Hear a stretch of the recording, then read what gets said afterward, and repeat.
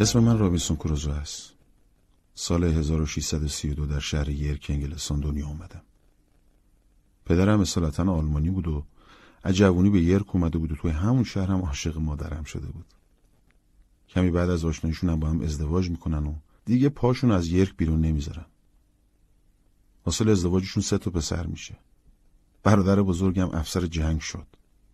اما بعدها در جنگی که بین اسپانیایی ها و انگلیسی ها در گرفت کشته شد. از سرنوشت برادر کوچیکم هم چیزی نمی‌دونم. پدر و مادرم هم نمی‌دونن. اصلا کسی نمی‌دونه کجا رفت و عاقبت چی به سرش اومد. اما من من رابینسون کروزوه فرزند وسط خانواده بودم. فرزندی که از کودکی به حرفه یا دانشی علاقه نداشت. هیچ وقت وقتم رو برای یاد گرفتن حرفه‌ای صرف نکردم. دلم نمی‌خواست آدم مفید یا موثری باشم. پدرم برای آموزش من زحمات زیادی کشید. دلش می‌خواست پسرش وکیل شه. اما آرزوهای من با پدرم فرسنگ ها فرق داشت. من بی توجه به نصیحت های سرم به بازیگوشی و خوشگذرونی گرم بود. من عاشق آبی دریا و اقیانوس پهناور بودم. از همون کودکی تموم فکر و ذکرم دریا نوردی بود. فکر و خیال سفر روی اقیانوسها خواب و خوراک ازم گرفته بود. پدرم سعی می‌کرد فکر و خیالا رو ازم دور کنه. یادم یه روز صدام کرد تا اتاقش برم. می‌دونستم باز همون حرفا و موضوعی تکراریه. حدسم درست بود. تا به اتاقش رفتم با دلسوزی گفت چرا می‌خوای آواره دریاهاشی؟ چرا نمی‌خوای تو کشور خودت زندگی آرومی داشته باشی و موفق بشی؟ اگه بعضیا دل به دریا می‌زنن و کل زندگیشون تو سفرن به خاطر پوله بلکه بتونن مثل تو زندگی کنن. حیف نیست؟ حیف نیست به آرامش و زندگی راحتت پشت پا بزنی؟ همه دوست دارن مثل تو زندگی کنن پسرم. ما نه فقیریم نه پولدار. تو بهترین و معمولی ترین زندگی رو داری. نه برده کسی هستی نه ارباب.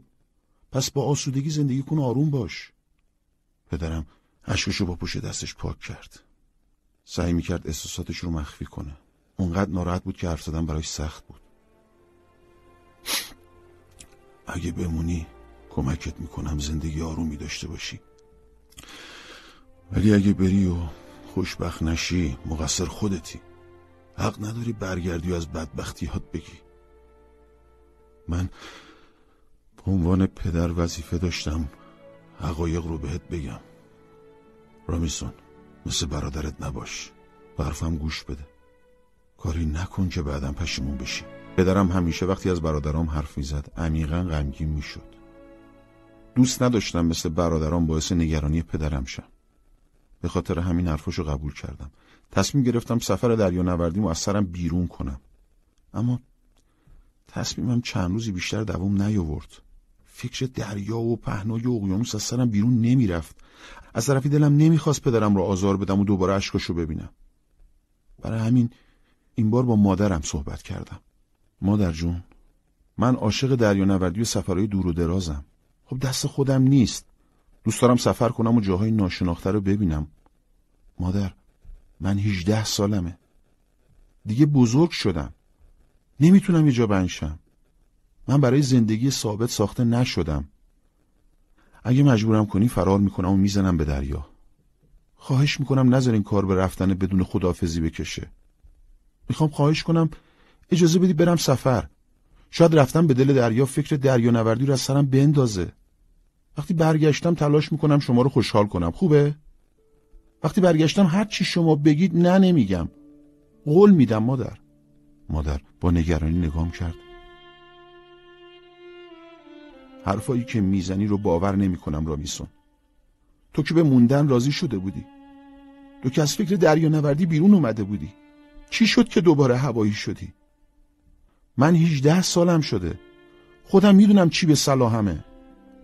من و پدرت حاضر نیستیم بدبختیت رو ببینیم. دلم نمی‌خواد به سفری بری که برگشتی نداشته باشه. گفتگو با مادرم هم گذشت. چند روز بعد غرق فکر و خیالای همیشگی صدای گفتگوی آرام پدر و مادرم را از اتاق غذاخوری شنیدم. فالگوش وایستادم. در مورد من حرف می زدن. پدرم می گفت اگه پیش ما بمونه خوشبخت و عاقبت به خیر میشه. ولی اگه بره معلوم نیست چه بلایی سرش میاد. من نمی‌خوام تنها پسری که برامون مونده مثل دوتای دیگه آواره و بدبخت بشه. دلم به حال پدرم سوخت. تصمیم گرفتم آبی دریا و رقص بادبانای کشتی رو از سرم بیرون کنم. یه سال تموم برفای پدرم گوش دادم. سعی کردم به کار ثابتی مشغول شم ولی بیفایده بود. طاقتم تاق شده بود. فکر دریانوردی و سفر خواب رو از چشم گرفته بود. یه روز صبح بی اختیار از خونه بیرون زدم و به طرف بندر رفتم. کنار لنگرگاه کشتی ها ایستادم و از دور نگاهشون کردم. به قدیمو سوار بر کشتی ها دیدم. دوستم داشت بارا رو به کشتی می برد تو منو دید برام تست تکون داد و طرفم اومد. رابینسون خودتی؟ اینجا چی کار می‌کنی؟ اومده بودم یه هوایی تازه کنم. تو چی کار می‌کنی؟ پدرم ناخدای همین کشتیه. ما عازم لندنیم. باید بار ببریم. می‌خوای با همون بیای؟ اگه بیای سفرت مجانیه. پیشنهادشو که شنیدم از خود بی خود شدم. بی اختیار سواری کشتی شدم و به چیزی فکر نکردم. بدون اینکه نامه خداحافظی بنویسم آماده دریا نوردی شدم. اواخر تابستون بود که دلمو به دریا زدم. اما نمی‌دونستم اولین روز سفرم. تازه شروع بدبختیامه. کشتی از لنگرگاه بیرون اومد و دو دل دریا پیش رفت. دریا نوردا با آسودگی مشغول کارشون بودم منم با هیجان به آبی بیکران روبروم زل زده بودم. اصلا خیال کشف دریاهای دور تموم ذهن و روحمو پر کرده بود. ناگهان طوفان وحشتناکی شروع شد. امواج بلند و قدرتمند به کشتی کوبیده شد. ترسیده بودم. تهوع داشتم. دنیا دور سرم میچرخید. هنوز چیزی نشده از کارم پشیمون شده بودم. خداوند خیلی زود تنبیه هم کرده بود. شاید می‌خواست از تصمیمم منصرف شم یاد اشکای پدرم افتادم چرا با آینده نگریاش توجه نکرده بودم؟ عذاب وجدان خفم می‌کرد. نه نمی‌خواستم عمرم اینطوری مفت و مجانی تموم بشه. طوفان هر لحظه شدیدتر و ترسناکتر می‌شد. امواج میخروشیدند و تو کشتی بالا میومدن کشتی مثل برگی سبک روی دریا تکون تکون می‌خورد. هر لحظه امکان داشت یکی از موجا روی سرم آوار شه و منو با خودش به قعر دریا بکشونه. مرگ رو جلوی چشمام می‌دیدم. گوشه کشتی نشستم و با خدا صحبت کردم. اگه زنده بمونم یه راست به خونه برگردم نصیحت های پدر و مادرم رو آویزه گوشم کنم. اما اعتراف می‌کنم وقتی دریا آروم شد قولام رو فراموش کردم و با زندگی جدیدم روی دریا خو گرفتم. روز بعد هوا صاف شده بود. تکای ابر در آسمون آبی پخش بودند. نور آفتاب به دریا می‌خورد و درخشانش می‌کرد. حرکت آروم کشتی در دل دریا نگرانی های شب قبل رو با خودش می‌برد روبروم منظره بسیار زیبایی بود. منظره که از بچگی آرزو داشتم. یه روز از نزدیک ببینم. از دیدن اقیانوس آروم و پهناور لذت می بردم. دوستم کنارم اومد و مثل من به دریای آبی زل زد. دیشب خیلی ترسیده بودی. طوفان وحشتناکی بود. مرگ و جلو چشام دیدم. طوفان وحشتناک؟ آره ممکن بود کشتی بشکنه و تو دریا غرق بشیم. اگه کشتی محکم باشه با طوفان غرق نمیشه. کشتی ما امنه ترس به دلت راه نده. ببین چه هوای خوبی رامیسون دریا رو ببین چقدر آرومه آروم شدم. آروم شدم و نگرانیامو فراموش کردم. بعدم قلایی که داده بودم و به دریا ریختم. تصمیم گرفتم به سفرم ادامه بدم. شیش روز بعد به لنگرگاه یارموس رسیدیم. باد مخالف میوزید و دریا کمی نارون بود. مجبور شدیم چند روز لنگر بندازیم. هفت روز تو لنگرگاه منتظر باد موافق موندیم. اما خبری نشد. به جز کشتی ما کشتی های زیادی در لنگرگاه منتظر بودن. نوردا با خیال راحت به کافه های کنار بندر می‌رفتند و خوشگذرونی می‌کردند. انگار طوفان و باد مخالف خیلی هم ناراحتشون نکرده بود. روز هشتم آسمون سیاه شد و طوفان شدیدتر شد. با اینکه کشتی مقاومی داشتیم همه میترسیدن کشتی توان تحمل طوفان سنگین رو نداشته باشه. دریا نوردا با نگرانی بارا رو جمع کردن و دکلا رو پایین آوردن. وقتی علتش رو پرسیدم گفتن تکونای کشتی کمتر میشه. نزدیک زور شرایط بدتر شد. موجای بلند آب به بدنه کشتی میخوردن و تکونش می‌دادن. در چشم به هم زدن قسمت جلوی کشتی توی آب فرو رفت و موجای بلند عرشه رو خیس کردن. ناخدا دستور داد لنگر بزرگ رو به دریا بندازن. ترس رو توی چشمای ناخدا می‌دیدم. چند بار به گوشه پناه برد و زیر زبونی با خدا حرف زد. خدایا به ما رحم کن. اگه کمکمون نکنی ما میمیریم. راز و نیاز ناخدا ترسم و چند برابر کرد. به دریا نگاه کردم. منظره ترسناکی بود. آب اقیانوس مثل کوه بلند می‌شد و روی کشتی فرو میریخت. دریا نوردا می‌گفتن تا به حال چنین طوفانی ندیدن. کشتی ما محکم بود ولی بار زیادی داشت. هر لحظه ممکن بود دریا کشتی ما رو ببلعه. نیمه شب بلای بدتری سرمون اومد. یکی از دریانوردو برای سرکشی به انبار کشتی رفته بود. خبر داد کشتی سوراخ شده و آب کل انبار رو گرفته. مرد گفت تو گردن توی آب بوده. از شنیدن خبرش بیهوش شدم. ناخدا کمکم کرد به هوش بیام. پسر الان وقت قش کردن نیست. پاشو کمک کن آبار از کشتی بریزیم بیرون. به خودم اومدم و به زور روی پاهم ایستادم یکی از دریانوردا سطلی بهم داد. منم به کمک دیگران رفتم. همون موقع ناخدا کشتی کوچیکی رو از دور دید. بار کشتی زغال سنگ بود. از اونجا که زغال سنگ سبکه باد کشتی رو با خودش به چپ و راست می‌برد. ناخدا دستور داد توپ هوایی شلیک کنن تا کشتی ما رو ببینه و به کمک اون بیاد. صدای توپ اونقدر بلند بود که از ترس پخش زمین شدن. این بار کسی بهم اهمیت نداد. حتی یکی از دریانوردا فکر کرد مردم. با پا منو کنار زد و به جام آب کشتی رو خالی کرد. دوباره به خودم اومدم از جام بلند شدم. آب توی انبار کشتی بیشتر شده بود. مطمئن بودیم دیر یا زود کشتی غرق میشه. چند ساعت بعد کشتی کوچیکی به کمکمون اومد. برامون قایق به دریا انداختن و پارو زنون به طرفمون اومدن. قایقا بین امواج وحشی دریا به سختی نزدیکمون می‌شدن. ناخدا برای قایقا تناب پرت کرد و یک شکی به طرف کشتی خودمون کشوند. به سختی سوار قایقا شدیم و به طرف ساحل پارو زدیم. سوار قایق که شدیم از ترس چیزی نمیفهمیدم. احساس می‌کردم کور و کر شدم. نه صدایی میشنیدم نه کسی رو می‌دیدم. چند دقیقه بعد ناخدا خبر داد کشتیمون در اعماق دریا فرو رفته و غرق شد.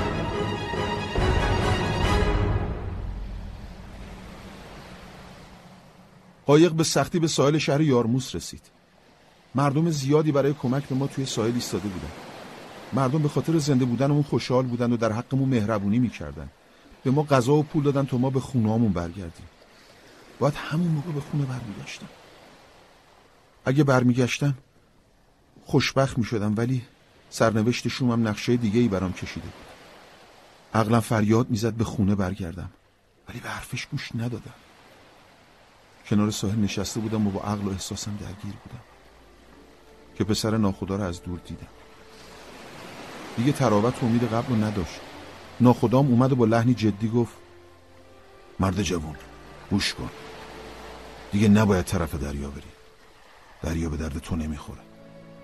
با اتفاقی که توی سفر اولت افتاد فهمیدم دریا باهات سر لج داره. مطمئن باش تا آخرش برات سختی و بدبختی میاره. ناخدا نصیحتم کرد. ولی گوش من بدهکار نبود. از وقتی جون سالم به در بردم تمایلم به سفر دریایی چند برابر شده بود. بدون حرف از جان بلند شدم و ازش دور شدم. دیگه هیچ وقت دوست و پدرش که ناخدا بود و ندیدم. هر وقت فکر می‌کردم به خونه برگردم خب احساس خجالت سرد و پامو می‌گرفت. از اینکه دوباره باید پدر و مادرمو ببینم و خجالت بکشم. تصمیم گرفتم با پول کمی که دارم راهی لندن شم و از اونجا به سفرم ادامه بدم.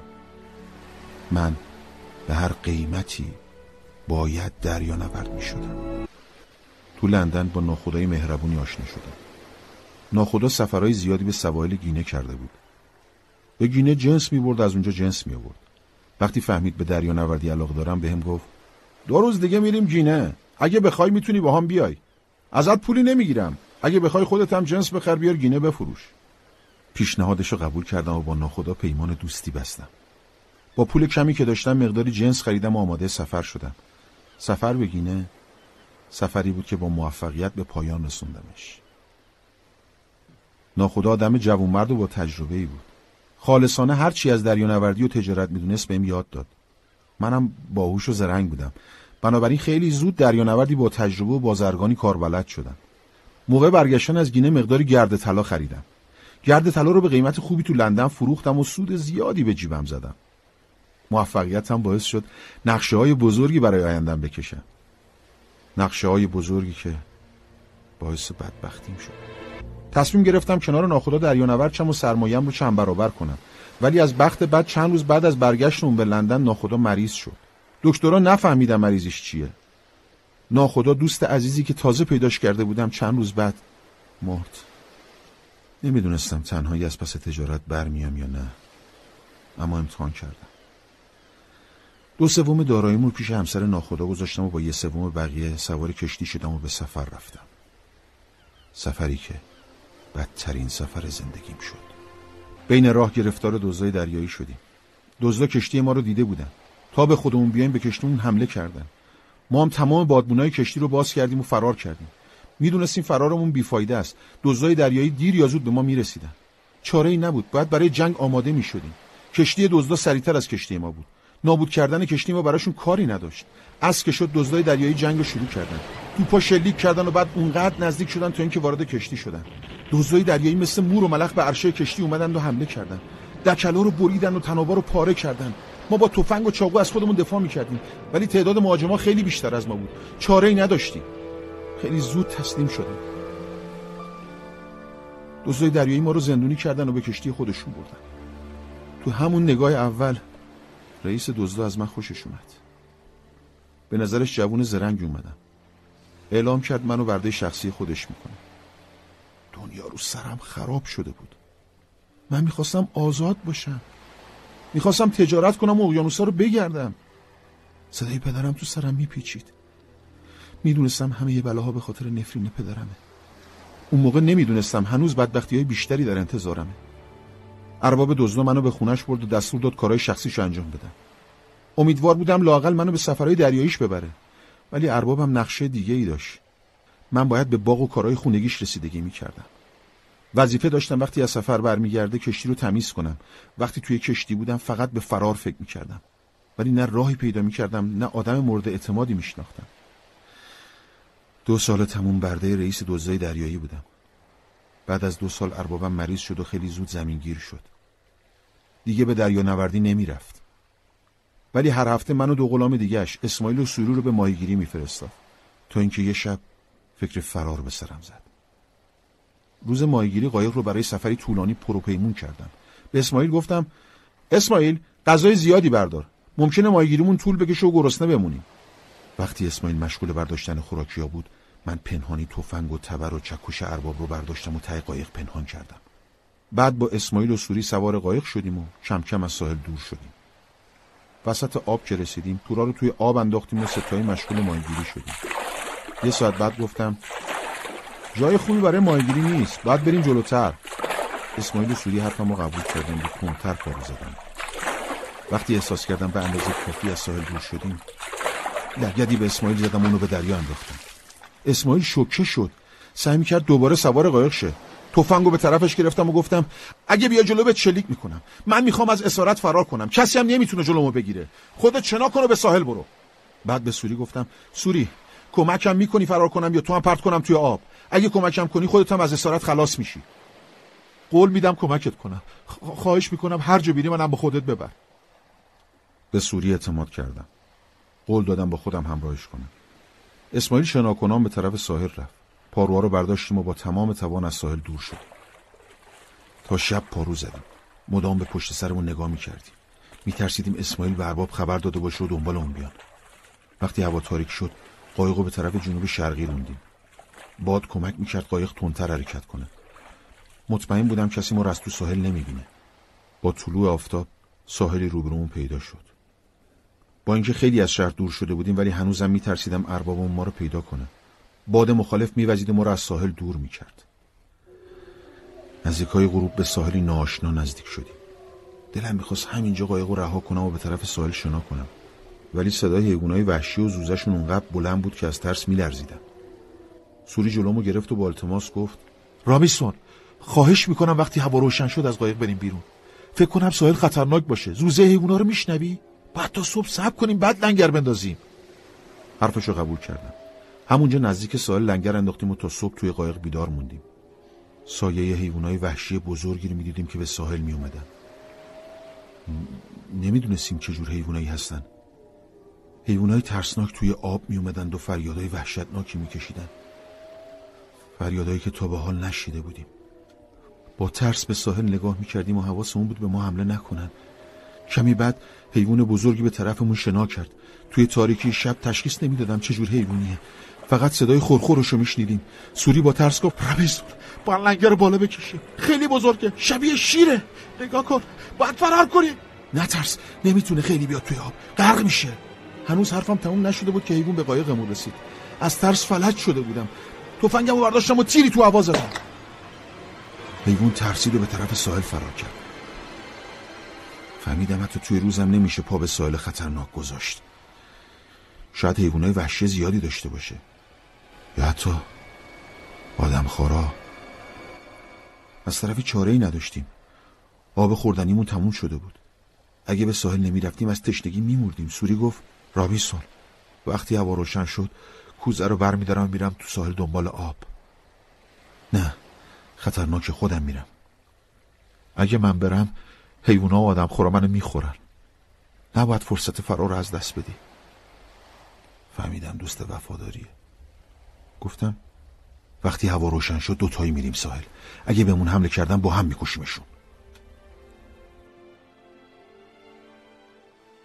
صبح زود کوزه و تفنگ رو برداشتیم و دوتایی به ساحل رفتیم. میترسیدیم زیاد از ساحل دور شیم. خطر حیوانای وحشی و آدمخورا رهامون نمی‌کردن. سوری برعکس من عجله داشت زودتر به ساحل برسه. دوید توی دل جنگل و چند دقیقه بعد با خرگوشی اومد. با خوشحالی خرگوش رو بالا گرفت و گفت یه خرگوش چه کار کردم؟ تازه کنار کوه چشمه آب شیرینم هست. هر دو با خوشحالی به طرف کوه رفتیم و کوزه ها رو پر از آب کردیم. کنار ساحل نشستیم و خرگوش رو کباب کردیم و خوردیم. ساحل سوت و کور بود. خطری ما رو تهدید نمی‌کرد. چند روزی توی جزیره موندیم تا تصمیم بگیریم کجا بریم. روزا جزیره متروکه بود ولی شبا صدای زوزه حیوانای وحشی نمیذاش بخوابیم. فکر می‌کردم احتمالا نزدیک جزایر قناری باشیم. ولی چون قطب نما نداشتم نمی‌دونستم به کدوم ارز جغرافی حرکت می‌کنیم. چند روز بعد دوباره سوار قایقمون شدیم و راه افتادیم. تصمیم گرفتیم با قایق دور جزیره بگردیم و زیاد از ساحل دور نشیم. امیدوار بودم کشتی تاجرای انگلیسی رو ببینم تا کمکمون کنن. دوربینم و برداشتم و به اقیانوس نگاه کردم. تو دل اقیانوس یه قله دیدم. قله رو میشناختم. تنزیف بود. یکی از قله‌های بلند و معروف جزایر قناری. می‌خواستم مسیر قایق رو به سمت جزایر قناری تغییر بدم ولی باد مخالف نمیذاشت. قایق کوچیکمون قادر نبود مسیر طولانی رو برخلاف جهت باد طی کنه. از تصمیمم پشیمون شدم و به راهمون ادامه دادیم. یه بار برای برداشتن آب از قایق پیاده شدیم و به ساحل جزیره رفتیم. سوری مراقب اطراف بود که ناگهان با وحشت صدام زد. رابینسون یه حیوان گنده کنار تخت سنگ خوابیده! راست می‌گفت. حیوان عظیم و جسه شبیه شیر کنار تخت سنگ خوابیده بود. امکان داشت هر لحظه بیدار شه و ما رو تیکه پاره کنه. به سوری دستور دادم نزدیک شه و حیوانو بکشه. سوری با ترس گفت چجوری بکشمش؟ خیلی بزرگه. خیلی خوب خودم میکشمش. تفنگمو برداشتم و پر از بارود کردم. سر حیوان رو نشونه گرفتم. ولی گلوله خطا رفت. تیر به پای حیوان خورد. حیوان بیدار شده از درد قرید روی سپای دیگهش وایستاد و قررش بلندی کرد. اونقدر صداش وحشتناک بود که موهای تنم سیخ شد. تفنگمو برداشتم و دوباره سرش نشونه گرفتم. این بار تیر به سرش خورد از پا افتاد. شکار بزرگی بود. ولی از کارم پشیمون بودم. گلوله ها رو خرج حیوانی کرده بودم که کاری به کارمون نداشت. سوری تصمیم گرفت پوست حیوانو بکنه و باش پتو درست کنه تا شب وقتمون رو برای کندن پوست تلف نکنیم. وقتی پوست کاملا خوش شد روی بوم کوچیک قایق پهنش کردیم تا خوش شه. پوست بعد دو روز خوش شد و پتوی گرم می شده بود. دوباره سوار قایق شدیم و به طرف جنوب حرکت کردیم. قصد داشتم به شط گامبی یا سنگال برسیم و از اونجا هم به دماغه سبز بریم. راه طولانی بود و آزوقی کم. بعد از ده روز دریانوردی به ساحل جزیره ناشنا نزدیک شدیم. از توی قایق آدمهایی رو دیدیم که توی ساحل وایستدن و قایق ما رو نگاه می‌کنن. مردم جزیره سیاپوست و برهنه بودن. سوری گفت نگاه کن تو دستشون نیزه دارن. اگه به ساحل نزدیکشیم نیزه پرتاب می‌کنن. به حرف سوری گوش نکردم و قایق و نزدیک ساحل بردم تا با اهالی حرف بزنم. با اشاره بهشون حالی کردم غذا می‌خوام. بومیان با اشاره تهدیدمون کردن جلوتر نریم تو برامون غذا بیارن. بادبونا رو کشیدیم و نزدیک ساحل توقف کردیم. بعد مدتی برامون گوشت خشک و میوه‌های محلی آوردن. نمی‌دونستیم چطور غذا رو بگیریم. سیاها غذاها رو کنار ساحل گذاشتن و دور شدن.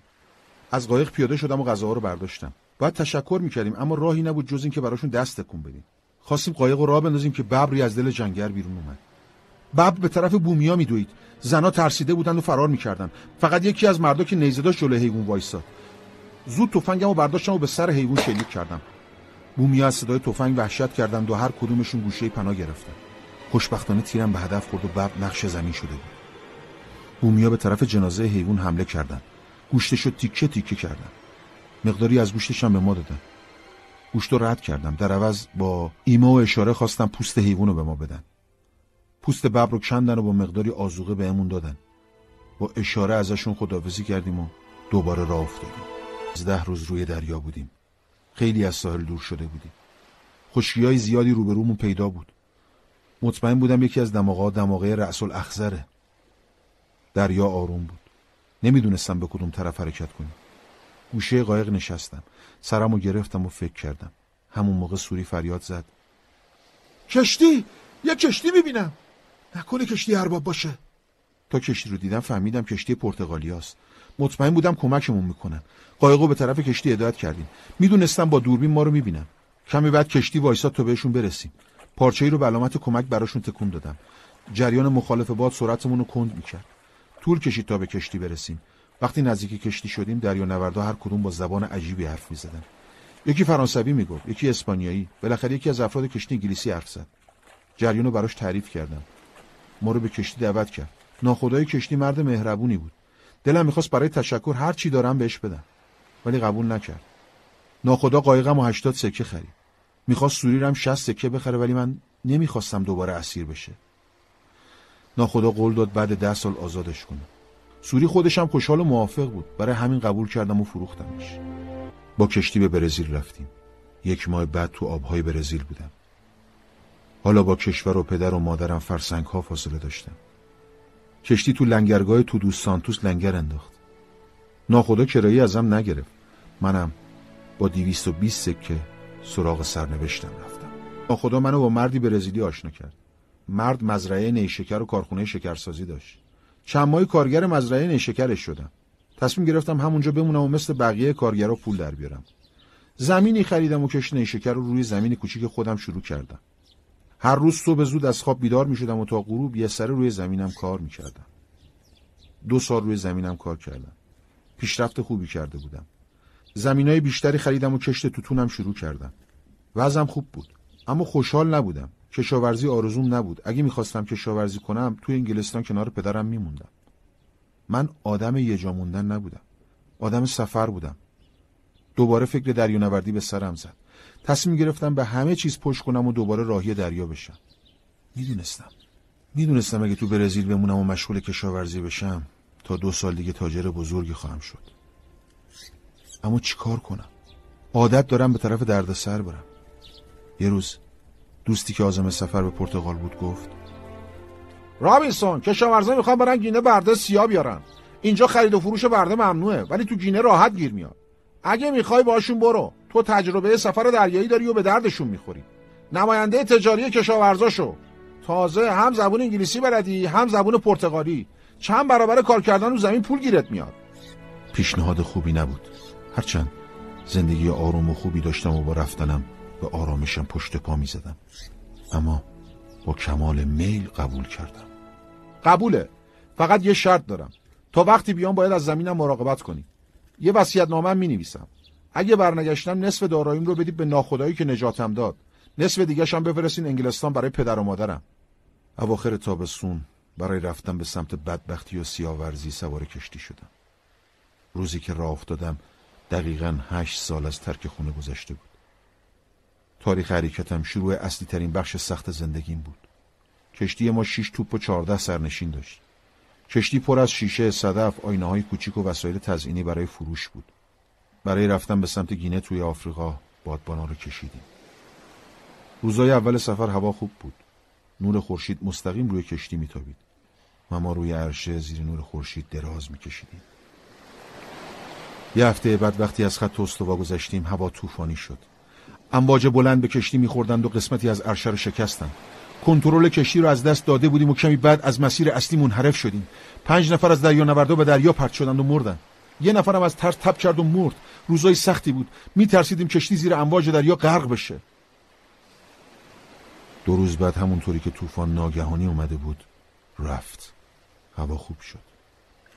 دوباره خورشید وسط آسمون درخشید و تصمیم گرفتیم به نزدیکترین ساحل بریم و کشتی رو تعمیر کنیم.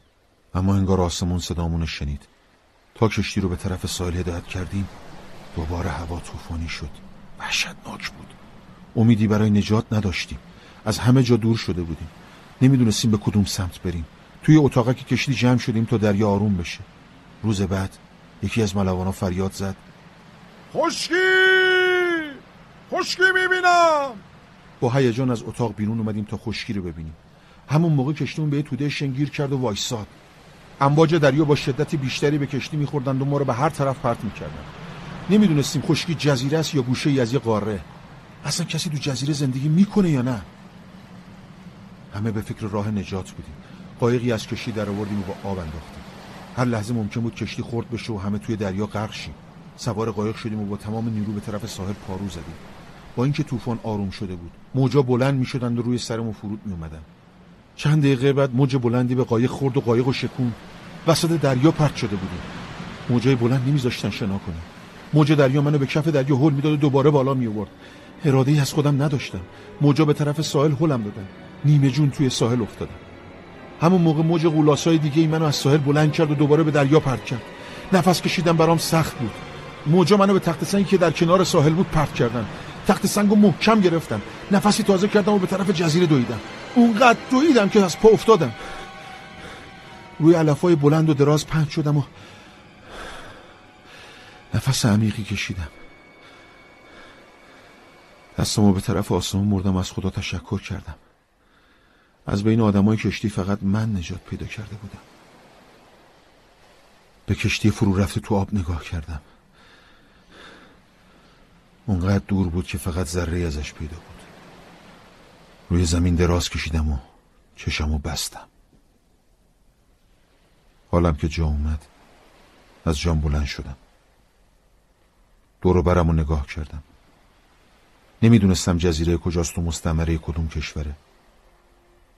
از تشنگی دهنم خوش شده بود. نه آب خوردنی داشتم نه لباس.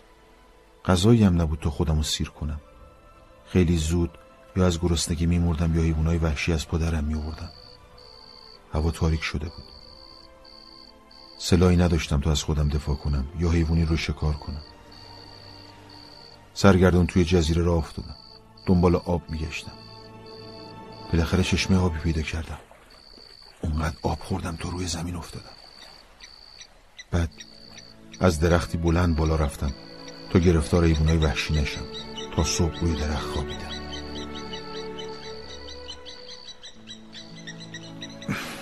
با نور درخشان خورشید از خواب بیدار شدم. دریا آروم بود. موجای دریا کشتی رو به ساحل آورده بودن. از درخت پایین رفتم و به طرف کشتی دویدم. تا کشتی رو دیدم گریم گرفت. با خودم فکر کردم اگه از کشتی پیاده نشده بودیم همه زنده مونده بودن. به سختی از کشتی بالا رفتم. پشت کشتی شکسته بود و آب به داخلش نفوذ کرده بود. ولی جلوی کشتی هنوز سالم بود. خدا رو شکر. غذاها هنوز بودن. هرچی خوراکی توی کشتی بود و برداشتم. چند کیسه نون و برنج و پنیر از قبل مونده بود. همونجا نشستم و کمی نون خوردم. بعد لباسا رو برداشتم. آب دریا رفته رفته بالا می اومد باید زودتر هرچی آزوقه توی کشتی بود و برمی یادم اومد صندوق وسایل نجاری رو بردارم. توی جزیره متروک و تنها صندوق وسایل حکم طلا رو داشت. تفنگا و چاقو از کشتی برداشتم. وسایل رو توی قایقی که توی کشتی داشتیم ریختم و قایق رو به آب انداختم. دریا آروم بود و آب قایق رو به طرف ساحل برد. چون وزن وسایل زیاد بود چند بار قایق تلو تلو خورد. نزدیک بود توی آب چپشه. تصمیم گرفتم هیچ وقت ساحل دور نشم. امیدوار بودم کشتی منو ببینه و نجات بده. قایق رو به ساحل کشوندم و به درختی بستم. اول از همه دنبال جایی گشتم تا مستقر شم. یکی از تفنگا رو برداشتم و از تپه بلندی بالا رفتم. از بالای تپه اطراف رو می‌دیدم. از اون بالا وقتی به جزیره و اقیانوس نگاه کردم فهمیدم چه سرنوشت غمانگیزی دارم. من توی جزیره کوچیک گیر افتاده بودم. جزیره ای که تا به حال رنگ آدمی زادی به خود ندیده بود. فقط خودم بودم و خودم. بقیانوس نگاه کردم. تا چشمم کار می‌کرد خبری از کشتی نبود. تو دل اقیانوس جزیره کوچیکی نزدیک جزیره خودم دیدم. همون موقع پرنده بزرگی از کنارم گذشت. به طرف شلیک کردم. صدای شلیکم تو جزیره پیچید. هزاران پرنده از روی درختای اطراف بلند شدند و جیغ کشیدن. پرنده که شکار کرده بودم و برداشتم. بوی خیلی بدی می‌داد. قابل خوردن نبود. از تپه پایین رفتم و کنار قایقم نشستم. غروب شده بود. نمی‌دونستم کجا بخوابم. جورت نمی‌کردم روی زمین بخوابم. دوباره بالای درخت رفتم و همونجا خوابیدم. چند روز بعد فهمیدم جزیره نه تنها آدمی به خود ندیده حیوانی هم اونجا پا نذاشته. به معنای واقعی تنهایی تنها بودم. روزا خودم رو با شکار پرنده سرگرم می‌کردم. گاهی هم با وسایل نجاری چوب میبریدم. می‌خواستم برای خودم سرپناهی درست کنم. روزی به سرم زد به کشتی برم و تنابا رو با خودم بیارم. تصمیم گرفتم دوباره به کشتی برم. سوار قایق شدم و پارو زدم. وقتی به کشتی رسیدم سراغ تنابا رفتم و برشون داشتم. چشمم به بادبونای کشتی افتاد.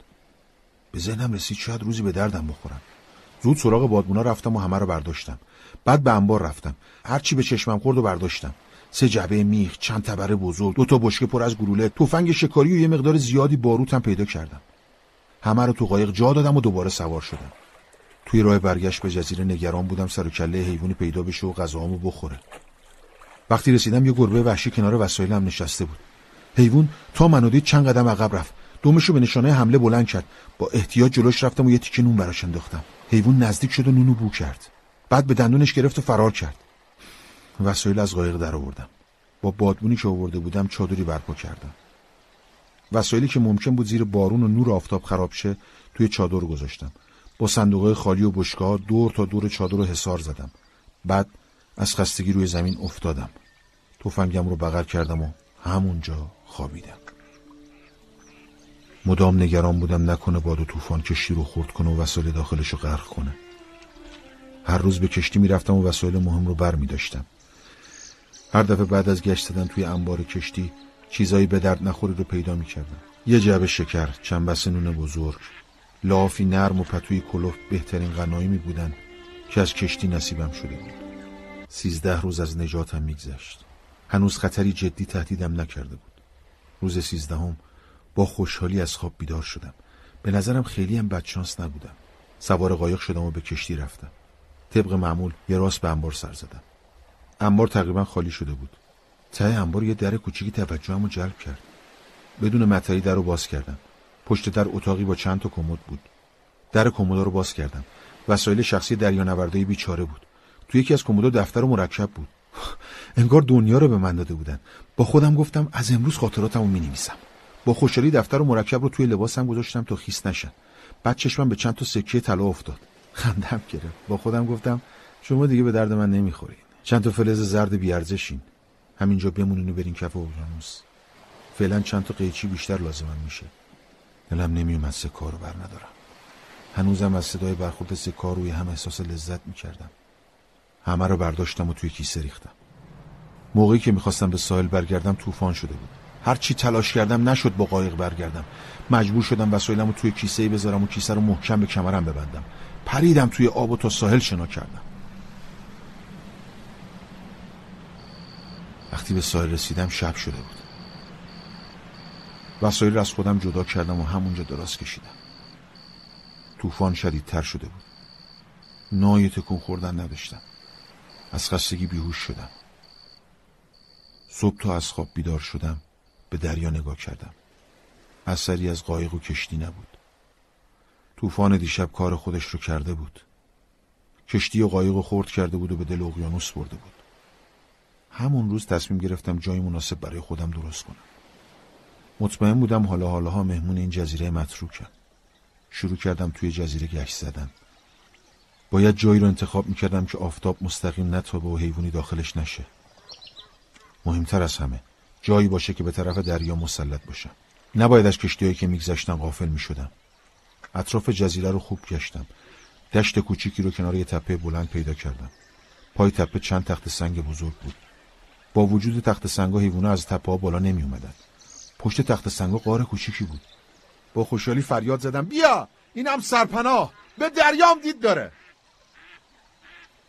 وسایلم رو جمع کردم و به خونه جدیدم بردم دور تا دور غار و نرده چوبی کشیدم. سر تک تک نرده رو با چاقو تیز کردم و با تنابم به هم وصلشون کردم. دیگه نه انسان و نه حیوان وحشی می‌تونست از بینش رد شه و خرابشون کنه. به جای در برای ورود و خروج به غار نردبونی ساختم. بعد چادر وسایل رو به دشت بردم و دوباره چادر رو توی دشت به پا کردم. جای امن و مناسبی شده بود. درست مثل یه خونه. شب اول طوفان سختی اومد. نگران بودم باروتا منفجر بشن و زیر غار تو دل جزیره دف بشن. باروتا رو به بستای کوچیک تقسیم کردم و زیر تخت سنگا جاسازی کردم. هر روز از خونه بیرون می‌رفتم و تو جزیره گشت می‌زدم. دشت پر از بزای کویی بود. گاهی سعی می‌کردم یکیشونو شکار کنم ولی بزا تا منو می‌دیدم فرار می‌کردن. بالاخره راه شکار کردنشون یاد گرفتم. باید از پشت حمله می‌کردم. به یه بز ماده از پشت تیر زدم. بز روی زمین افتاد. بزغالش تا مادرش رو زخمی دید از کنارش تکون نخورد. بی توجه به بزغال شکارم رو برداشتم و حرکت کردم. بزغاله پشتم میومد بزغاله رو هم بغل کردم و با خودم به خونه بردم. تصمیم گرفتم مادرش رو کباب کنم و بزغاله رو اهلی. بزغاله چیزی نمی‌خورد. نزدیک بود از قصه دق کنه. چاره ای نداشتم. مجبور شدم بزغاله بینوارم بکشم از کشتن بزغاله و مادرش حس بدی داشتم. به خاطر همین تصمیم گرفتم دیگه کمتر شکار کنم. روزا و شبا در تنهایی محض سپری می‌شد. دلم از سکوت و تنهایی گرفته بود. اما مدام به خودم می‌گفتم با اینکه شرایط سختی دارم من زندم خیلی خوششانس بودم که وسایل از کشتی بیرون آوردم و دوباره زندگیمو شروع کردم. پس خدا هنوز دوستم داره. حس کردم خدا کنارم و حمایتم می‌کنه.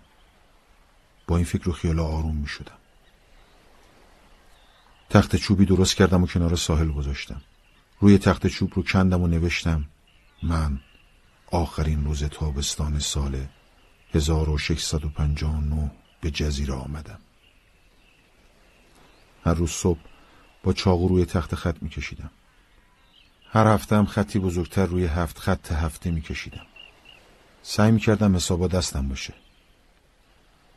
با حساب کتابی که کرده بودم فهمیدم جزیره در 90 درجه شمالی قرار داره. یادم رفت بگم. ما تو کشتیمون یه سگ داشتیم. یه روز بی هوا سگ و سرگردون آشفته توی جزیره پیدا کردم. سگم مثل من خوششانس بود. از طوفان جون سالم به در برده بود. با شنا خودم رو به ساحل رسوندم. از پیدا کردن همدمی اهلی کنار خودم خیلی خوشحال شدم. سگ مثل خدمتکاری با وفا به من کمک می‌کرد.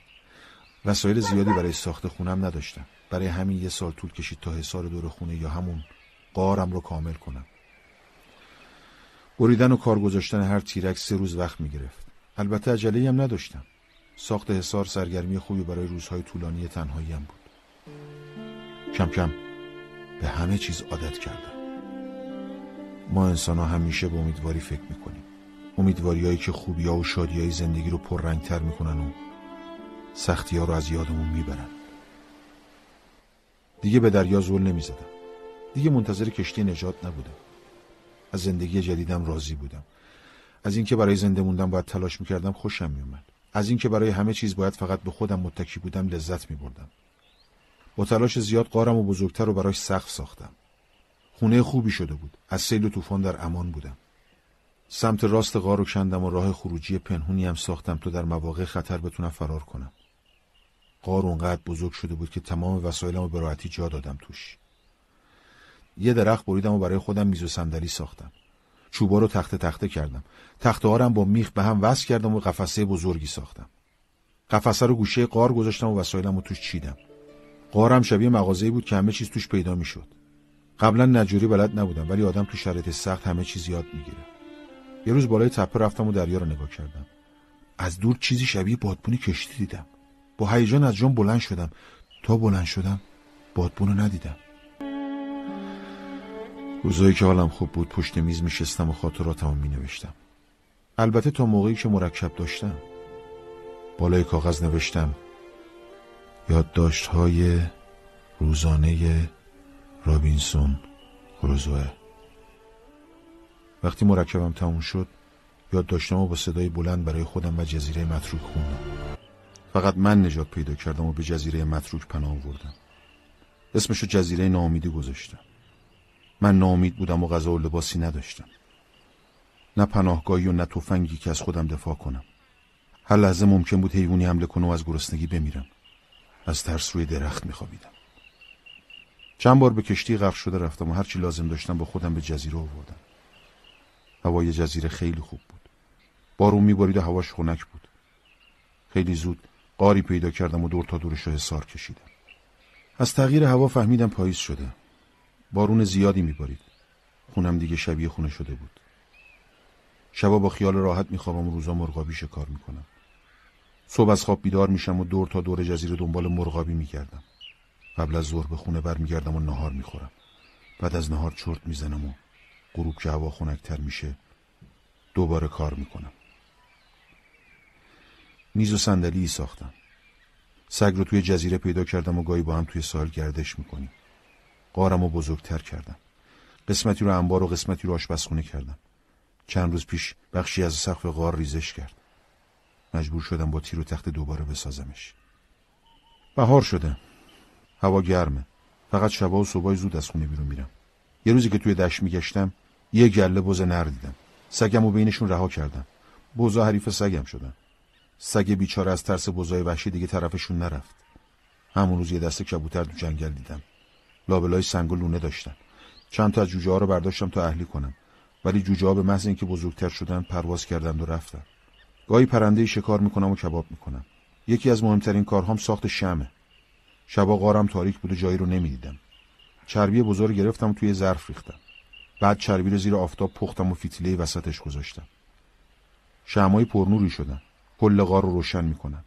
چند وقت پیش موشی تو کیسه گندم دیدم. نصف گندما رو خورده بود. گندما دیگه قابل استفاده نبودن. کیسه رو برداشتم و کنار صخره خالی کردم. یه ما بعد جوونای گندم رویدن اولش فکر کردم معجزه شده. یه گوشه نشستم و گریه کردم. با وجود جوونای گندم دیگه از گرسنگی نمیمردم. وقتی کیسه خالیشون کنارشون دیدم یادم اومد خودم کیسه رو اونجا خالی کردم. بازم خوشحال بودم. فکرشو نمی‌کردم تو آب هوای جزیره گندم در بیاد. خدا رو شکر کردم. منتظر فصل درو شدم تا محصولم رو برداشت کنم و دوباره بکارم. حواست بهار یه شب که توی قارم خوابیده بودم قسمتی از سقف فرو ریخت. از ترس زهره ترک شدم. دویدم بیرون از حسارا رد شدم. جزیره میلرزید و دریا ناروم بود. زلزله شده بود. زلزله بعضی از درختها رو از ریشه در آورده بود. از تکونای زلزله سرم گیج رفت. میترسیدم تو جزیره بینامونشون دفن بشم. کنار ساحل روی زمین نشستم و خدا رو صدا کرد. دریا پر از کفای سفید شده بود. گاهی بلند می‌شدند و محکم به ساحل و صخره‌ها میخوردن از کنار ساحل تکون نمیخوردم. جرأت نداشتم به غار برم. میترسیدم غار روی سرم فرو بریزه.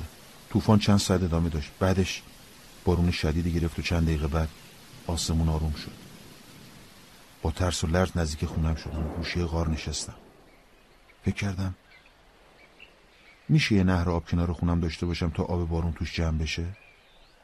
از طرفی باید خونم محکمتر می‌کردم. یا به جای بزرگتری نقل مکان می‌کردم. قارم پایین تپه پر از صخره بود. با هر زلزله ممکن بود سنگا بریزن و زیر آوار مدفون شم.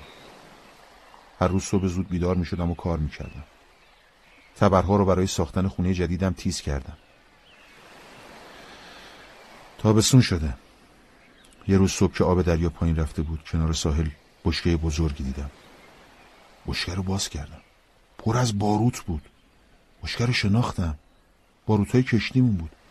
بعد از مدت ها امواج دریا بشکه باروت رو به ساحل آورده بود. طوفان لاشه کشتی رو تا نزدیکی ساحل آورده بود. شنا کردم و به سمت لاشه های کشتی رفتم. هر تیکره که زورم می‌رسید به ساحل میکشوندم. ممکن بود لاشه ها روزی به کارم بیان. تخت پاره ها رو کنار صخره تو ساحل گذاشتم. قصد داشتم با چیزایی که جمع کرده بودم قایق محکمی بسازم. امروز وقتی توی ساحل قدم می‌زدم لاک پشت بزرگی دیدم. لاک پشت رو توی آتیش پختم. مدت ها بود فقط گوشت بوز و پرنده میخوردم. گوشت لاک پشت تنوع خوبی بود. امروز بارون شدیدی بارید. توی خونه موندم و احساس می‌کنم سرما خوردم. حالم خوب نیست. نگار تب دارم. با اینکه هوا گرمه ولی از سرما میلرزم. دو روزه که از شدت تب و لرز خوابم نبرده. گاهی از سرما میلرزم. حالم خوب نیست. میترسم تو این جزیره متروک دور از همه بمیرم.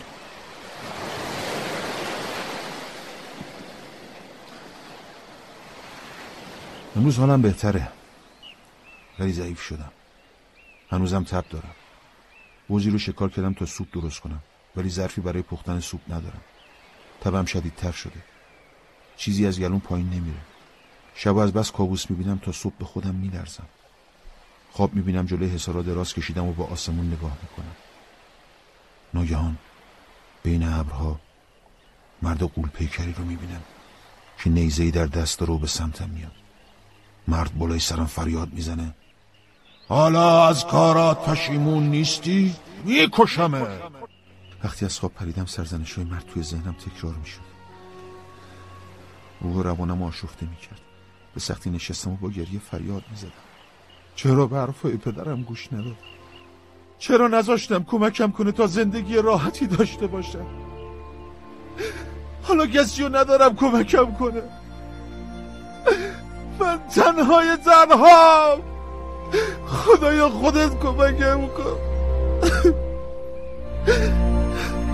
داشتای روزانم عمق تنهایی مردی بود که دیگه برای خودمم بیگانه شده بود. من جزی از جزیره شده بودم. کنار ساحل نشسته بودم و اقیانوس را نگاه می کردم هزاران فکر به ذهنم هجوم می آورد هر بلایی سرم اومده تقصیر خودم بوده. ولی هر بار خدا منو بخشیده و نجاتم داده بود. سرم داغ شده بود. میترسیدم. میترسیدم دوباره تب کنم. به خونه برگشتم و توی قارم دراز کشیدم. یادم اومد. برزیلیا برای درمون تب توتونو توی آب جوش میریختن و میخوردن.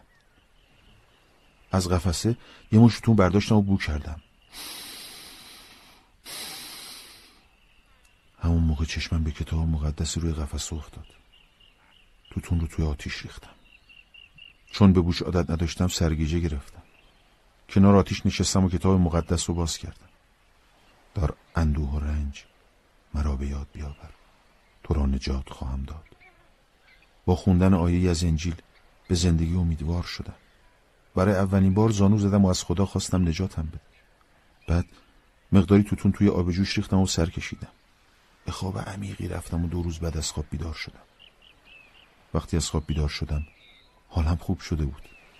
شاد و سرحال شده بودم. اشتهام باز شده بود. تفنگ و برداشتم از خونه بیرون زدم. دو تا مرغ دریایی شکار کردم. دلم نیومد گوششون رو بخورم. به جاش چند تا تخم لاکپشت پختم و خوردم. دفتر یادداشتم و برداشتم و تمام اتفاقات رو توش نوشتم. روزهای بعد قبل از خواب سراغ دفترم می‌رفتم و هرچی در طول روز اتفاق افتاده بود و توی دفترم یادداشت می‌کردم. تابستان به نیمه رسیده. امروز تب و لرز داشتم.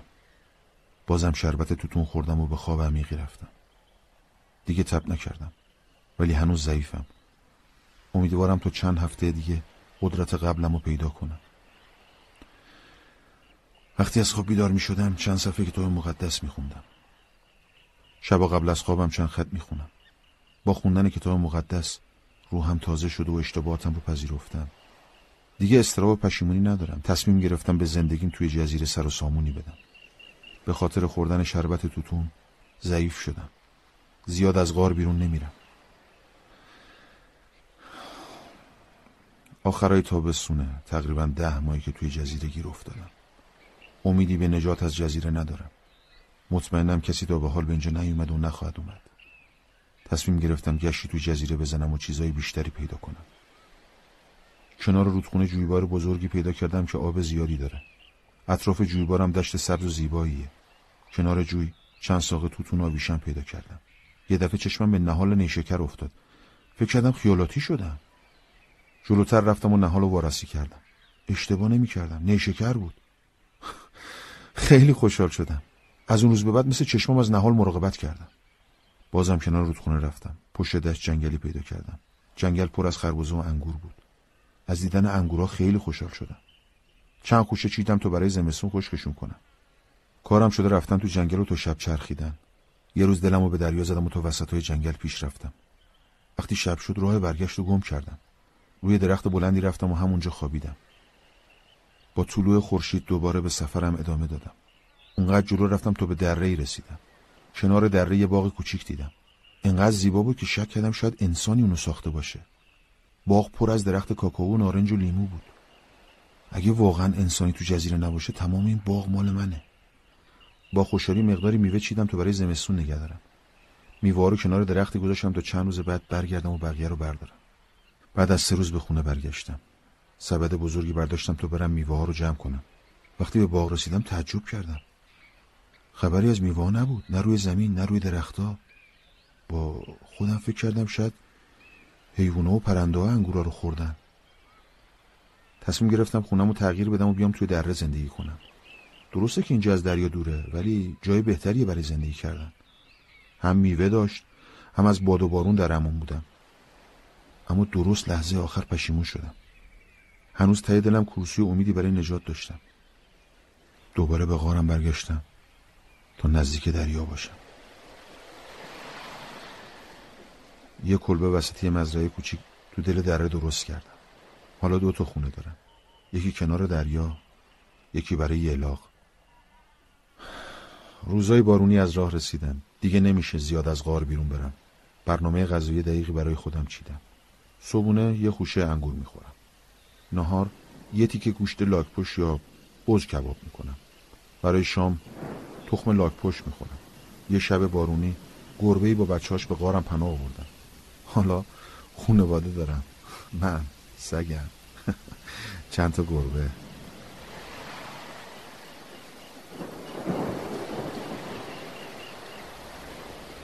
پاییز شده و بازم بارون میاد. مجبورم کل روز توی خونه بمونم. تصمیم گرفتم قارم رو بزرگتر کنم. می‌خوام تونلی به اون طرف جزیره بزنم تا مواقع خطر بهتر فرار کنم. هرچند فکر نمی کنم موجود خطرناکی تو این جزیره باشه. بزرگترین حیوان اینجا بز و من تنها انسان جزیره هستم روزای غمانگیزی رو پشت سر می‌ذارم. تعداد خطایی که روی تخت چوبی زدم 365 تا شده. یک سال از نجاتم میگذره. امروز دعا خوندم و روزه گرفتم. از خدا کمک خواستم تو بازم کمکم کن. مرکبم کم کم تموم میشه. از این روز فقط چیزای مهم رو می نویسم خیلی چیزا یاد گرفتم. می‌دونم چه موقعی باید محصول بکارم و چه موقعی برداشت کنم. وقتی حرکت خورشید به طرف جنوب مایل شد فهمیدم فصل بزرفشانی شده. یه قطع زمین کوچیک و با بیل چوبیم کندم. نصف دونه های گندم کاشتم تا اگه دونه خراب شدن بازم داشته باشم. فکر خوبی بود. ولی ماها بارون نبارید و هیچ کدوم از دونه ها سبز نشدن یه قطع زمین دیگر رو بیل زدم و بقیه دونه ها رو کاشتم. با گرم شدن هوا تموم دونه ها سبز شدن.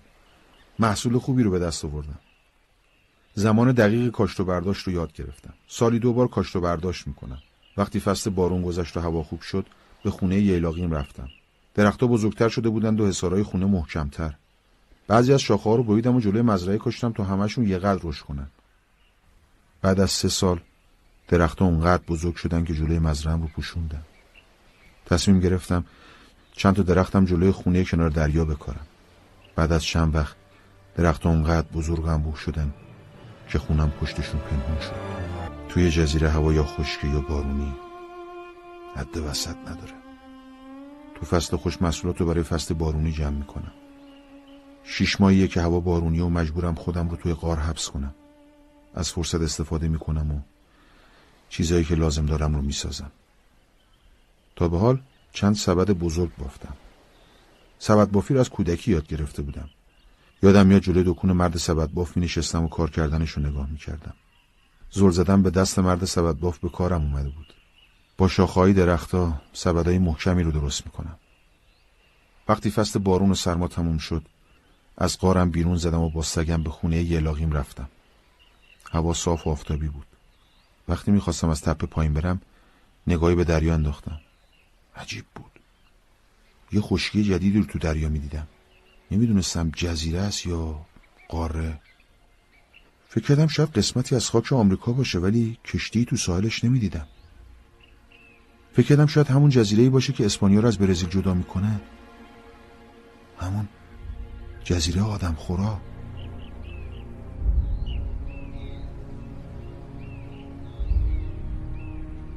بعد از بارش بارون جزیره پر از گل شده بود. های سبز وحشی درختان اجازه نمی‌داد نور خورشید به زمین برسه.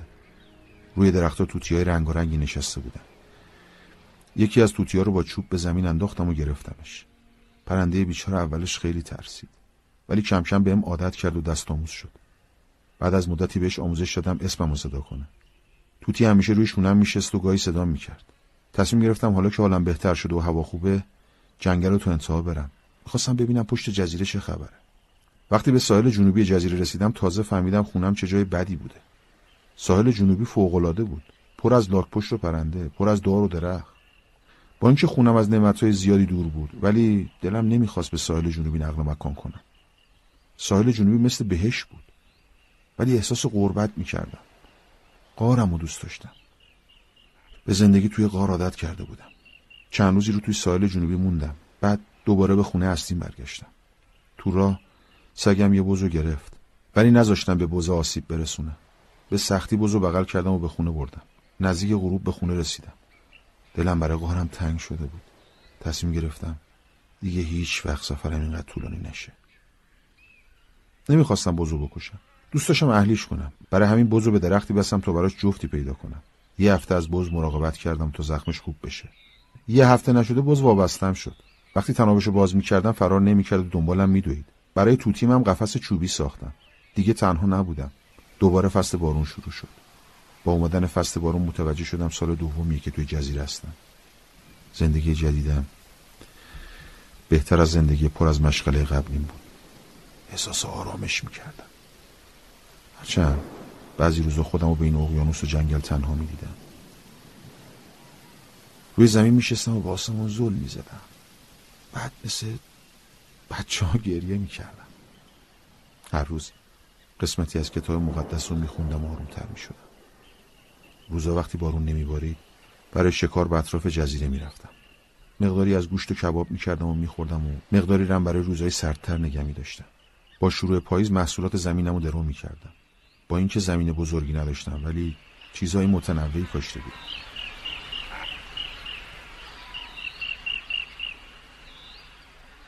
یه روز متوجه شدم بزا و حیوانای کوچیک داخل مزرعه میشن و ساقه جوون زده رو می‌خورن. خیلی ترسیدم. امکان داشت کل محصولاتم از بین ببرن همون موقع دست به کار شدم. دور تا دور مزرعه رو با چوب و شاخهای درخت حصار کشیدم. روزا نگهبانی می‌دادم تا حیوونا وارد مزرعه نشن.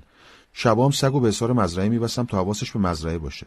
اگه حیوانی نزدیک مزرعه می‌شد چنان پارسی می‌کرد که کل جزیره به لرزه میافتاد. با بزرگ شدن جوونا از شر حیوانات خلاص شدیم. ولی حالا مشکل بدتری پیش اومد. پرنده ها به محصولات حمله کردن. خیلی از پرنده ها لابلای ساقهای گیاه ها پنهون می شدن. فکری به سرم زد. یه روز گوشه مزرعه پنهون شدم وقتی پرنده ها حمله کردن سه تاشون رو با تیر زدم بعدش لاشه پرنده ها رو به چوبی وصل کردم و وسط مزرعه گذاشتم دیگه پرنده ای جرأت نکرد طرف مزرعه بیاد. با شروع فصل سرما محصولاتم رو درو کردم. چون داست نداشتم مجبور بودم خوشه ها رو با چاقو دونه دونه ببرم. با اینکه محصول کمی به دست آورده بودم اما خوشحال بودم. تصمیم گرفتم مزرعه دیگه هم بسازم. باید گندم بیشتری درو می‌کردم. با گندمایی که داشتم نمی‌شد نون پخت. دوباره گندما رو نصف کردم و نصفشون رو تو مزرعه دومم کاشتم. می‌خواستم بقیه گندمای مونده رو بکوبم ولی هاون نداشتم.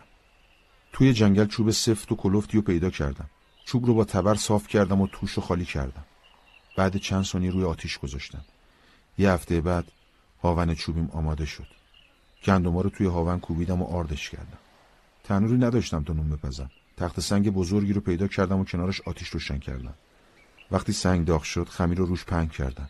چند دقیقه بعد اولین نونم روی سنگ پخته شد. با خوردن نونی که حاصل دسترنج خودم بود احساس آرامش کردم و عمیقا خدا رو شکر کردم. چند روز بعد به فکرم رسید ظروف گلی بسازم. باید ظرفی رو برای جمعآوری گندم و برنجا داشته باشم. اولین ظرفی که ساختم کج و کله بودن و از هم جدا می‌شد. هر کاری می‌کردم گلم چسبندگی نداشت. بعضی هم موقع خوش شدن ترک برمی داشتن بالاخره بعد از دو ماه دو تا ظرف بزرگی گلی ساختم. ظرفا زیر نور آفتاب پختند و محکم شدن. دور تا دور ظروف و با سبدایی که بافته بودم پوشوندم. کارم باعث شد ظروفم مقاومتر بشن تصمیم گرفتم کاسه های کوچیکی درست کنم. چند تا کاسه با گل درست کردم و توی آتیش گذاشتم. حرارت آتیش به قدری زیاد بود که شنای چسبنده به کاسه تبدیل به شیشه شدم. از دیدن کاسه از خوشحالی روی پام بند نبودم. تا از آتیش درشون آوردم صبر نکردم خنکشن.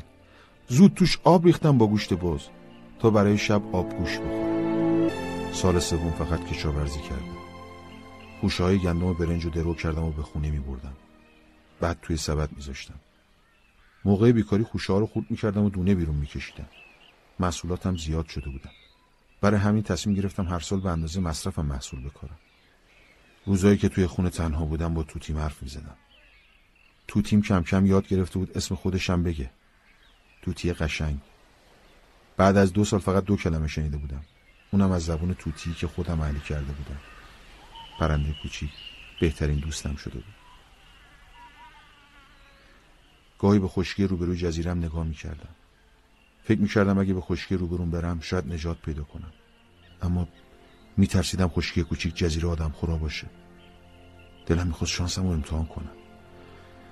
برای همین تصمیم گرفتم قایق محکمی بسازم. بلد نبودم قایق درست حسابی بسازم. اما اونقدر شوقم زیاد بود که به جنگل زدم و دنبال درخت مناسبی برای ساخت قایق گشتم. درخت بزرگی رو پیدا کردم. چند روز طول کشید تا با تبر انداختمش. یه هفتم مشغول بریدن شاخهاش بودم. چند ماه طول کشید تا داخل چوب رو خالی کردم. بالاخره بعد از چند ماه قایقم آماده شد. قایق خیلی بزرگی بود. 20 نفری توش جا می شدن مسیر حرکت قایق خیلی بد بود. پر از سنگ و گیاه. تمام مسیر رو با بیل هموار کردم. کار سختی بود. فقط به عشق از پس هر کار سختی بر اومدم. مشکل بعدی بزرگتر بود. حرکت دادن قایق از خشکی به طرف دریا سخت بود. هر کاری کردم نشد. فکر کردم جای بردن قایق به طرف دریا دریا رو میارم جلوتر. می‌خواستم جوی بزرگی بسازم تا آب به زیر قایق برسه. با وسایل کمی که داشتم حداقل ده سالی طول می‌کشید. برای همین منصرف شدم و دیگه به جزیره روبروم فکر نکردم. چهار سال از موندنم تو جزیره میگذشت. زندگیم بهتر از قبل شده بود. دیگه به بدبختیان فکر نمی‌کردم. روحم آروم شده بود و خدا رو شکر می‌کردم. لباسام پوسیده شده بود. آفتاب جزیره اونقدر شدید بود که وقتی کلا سرم نمیذاشتم سردرد شدیدی می‌گرفتم. چاره نداشتم. باید برای خودم لباس میدوختم. با پارچه‌هایی که از کشتی پیدا کرده بودم خیاطی کردم. دو تا کت و چند تا شلوار کوتاه و بدقواره دوختم. من هیچ وقت پوست حیوانایی که شکار می‌کردم و دور نمیرختم پوستشون رو توی آفتاب خوش می‌کردم و نگه میداشتم. با پوستا برای خودم کلاه بزرگی شرمی دوختم. یه لباس بزرگ و گشاد. برای وقتی که بارون میومد پنج سال از موندنم در جزیره میگذشت. هنوز دلم می‌خواست به خشکی روبروی جزیره برم. قایق بدون استفاده گوشه افتاده بود. تکون دادنش محال بود. اما من ناامید نشدم. قایق دیگه ای ساختم. این بار قایق کوچکتر و نزدیک ساحل ساختم. دو سال طول کشید تا جوی بزرگی کندم و قایق به دریا انداختم. از بس قایقم کوچیک و آسیب پذیر بود امکان نداشت به خشکی که دیده بودم برسم. ولی می‌شد با قایقم اطراف جزیره رو بگردم.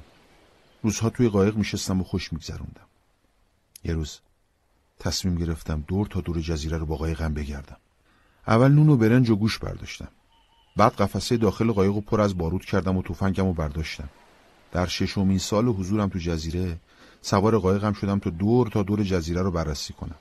جزیره بزرگ نبود اما سفرم طول کشید.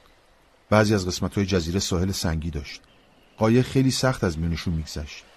همونجا از قایق پیاده شدم و به ساحل سنگی رفتم. از تپه بلند کنار ساحل بالا رفتم و مسیرم رو دیدم. ساحل سنگی خیلی طولانی بود. نمی‌دونستم به خونه برگردم یا مسیرم ادامه بدم. دو روز روی تپه موندم و استراحت کردم. روز سوم تصمیم گرفتم با فاصله زیاد از ساحل سنگی رد شم و به سفرم ادامه بدم. سوار قایق شدم و از ساحل سنگی فاصله گرفتم. خیلی دور نشده بودم که فهمیدم قایقم با جریان آب داره حرکت می‌کنه. با اینکه دریا آروم بود قایق حریف موجای دریا نمی‌شد. توی یه چشم هم زدن از ساحل دور شدم.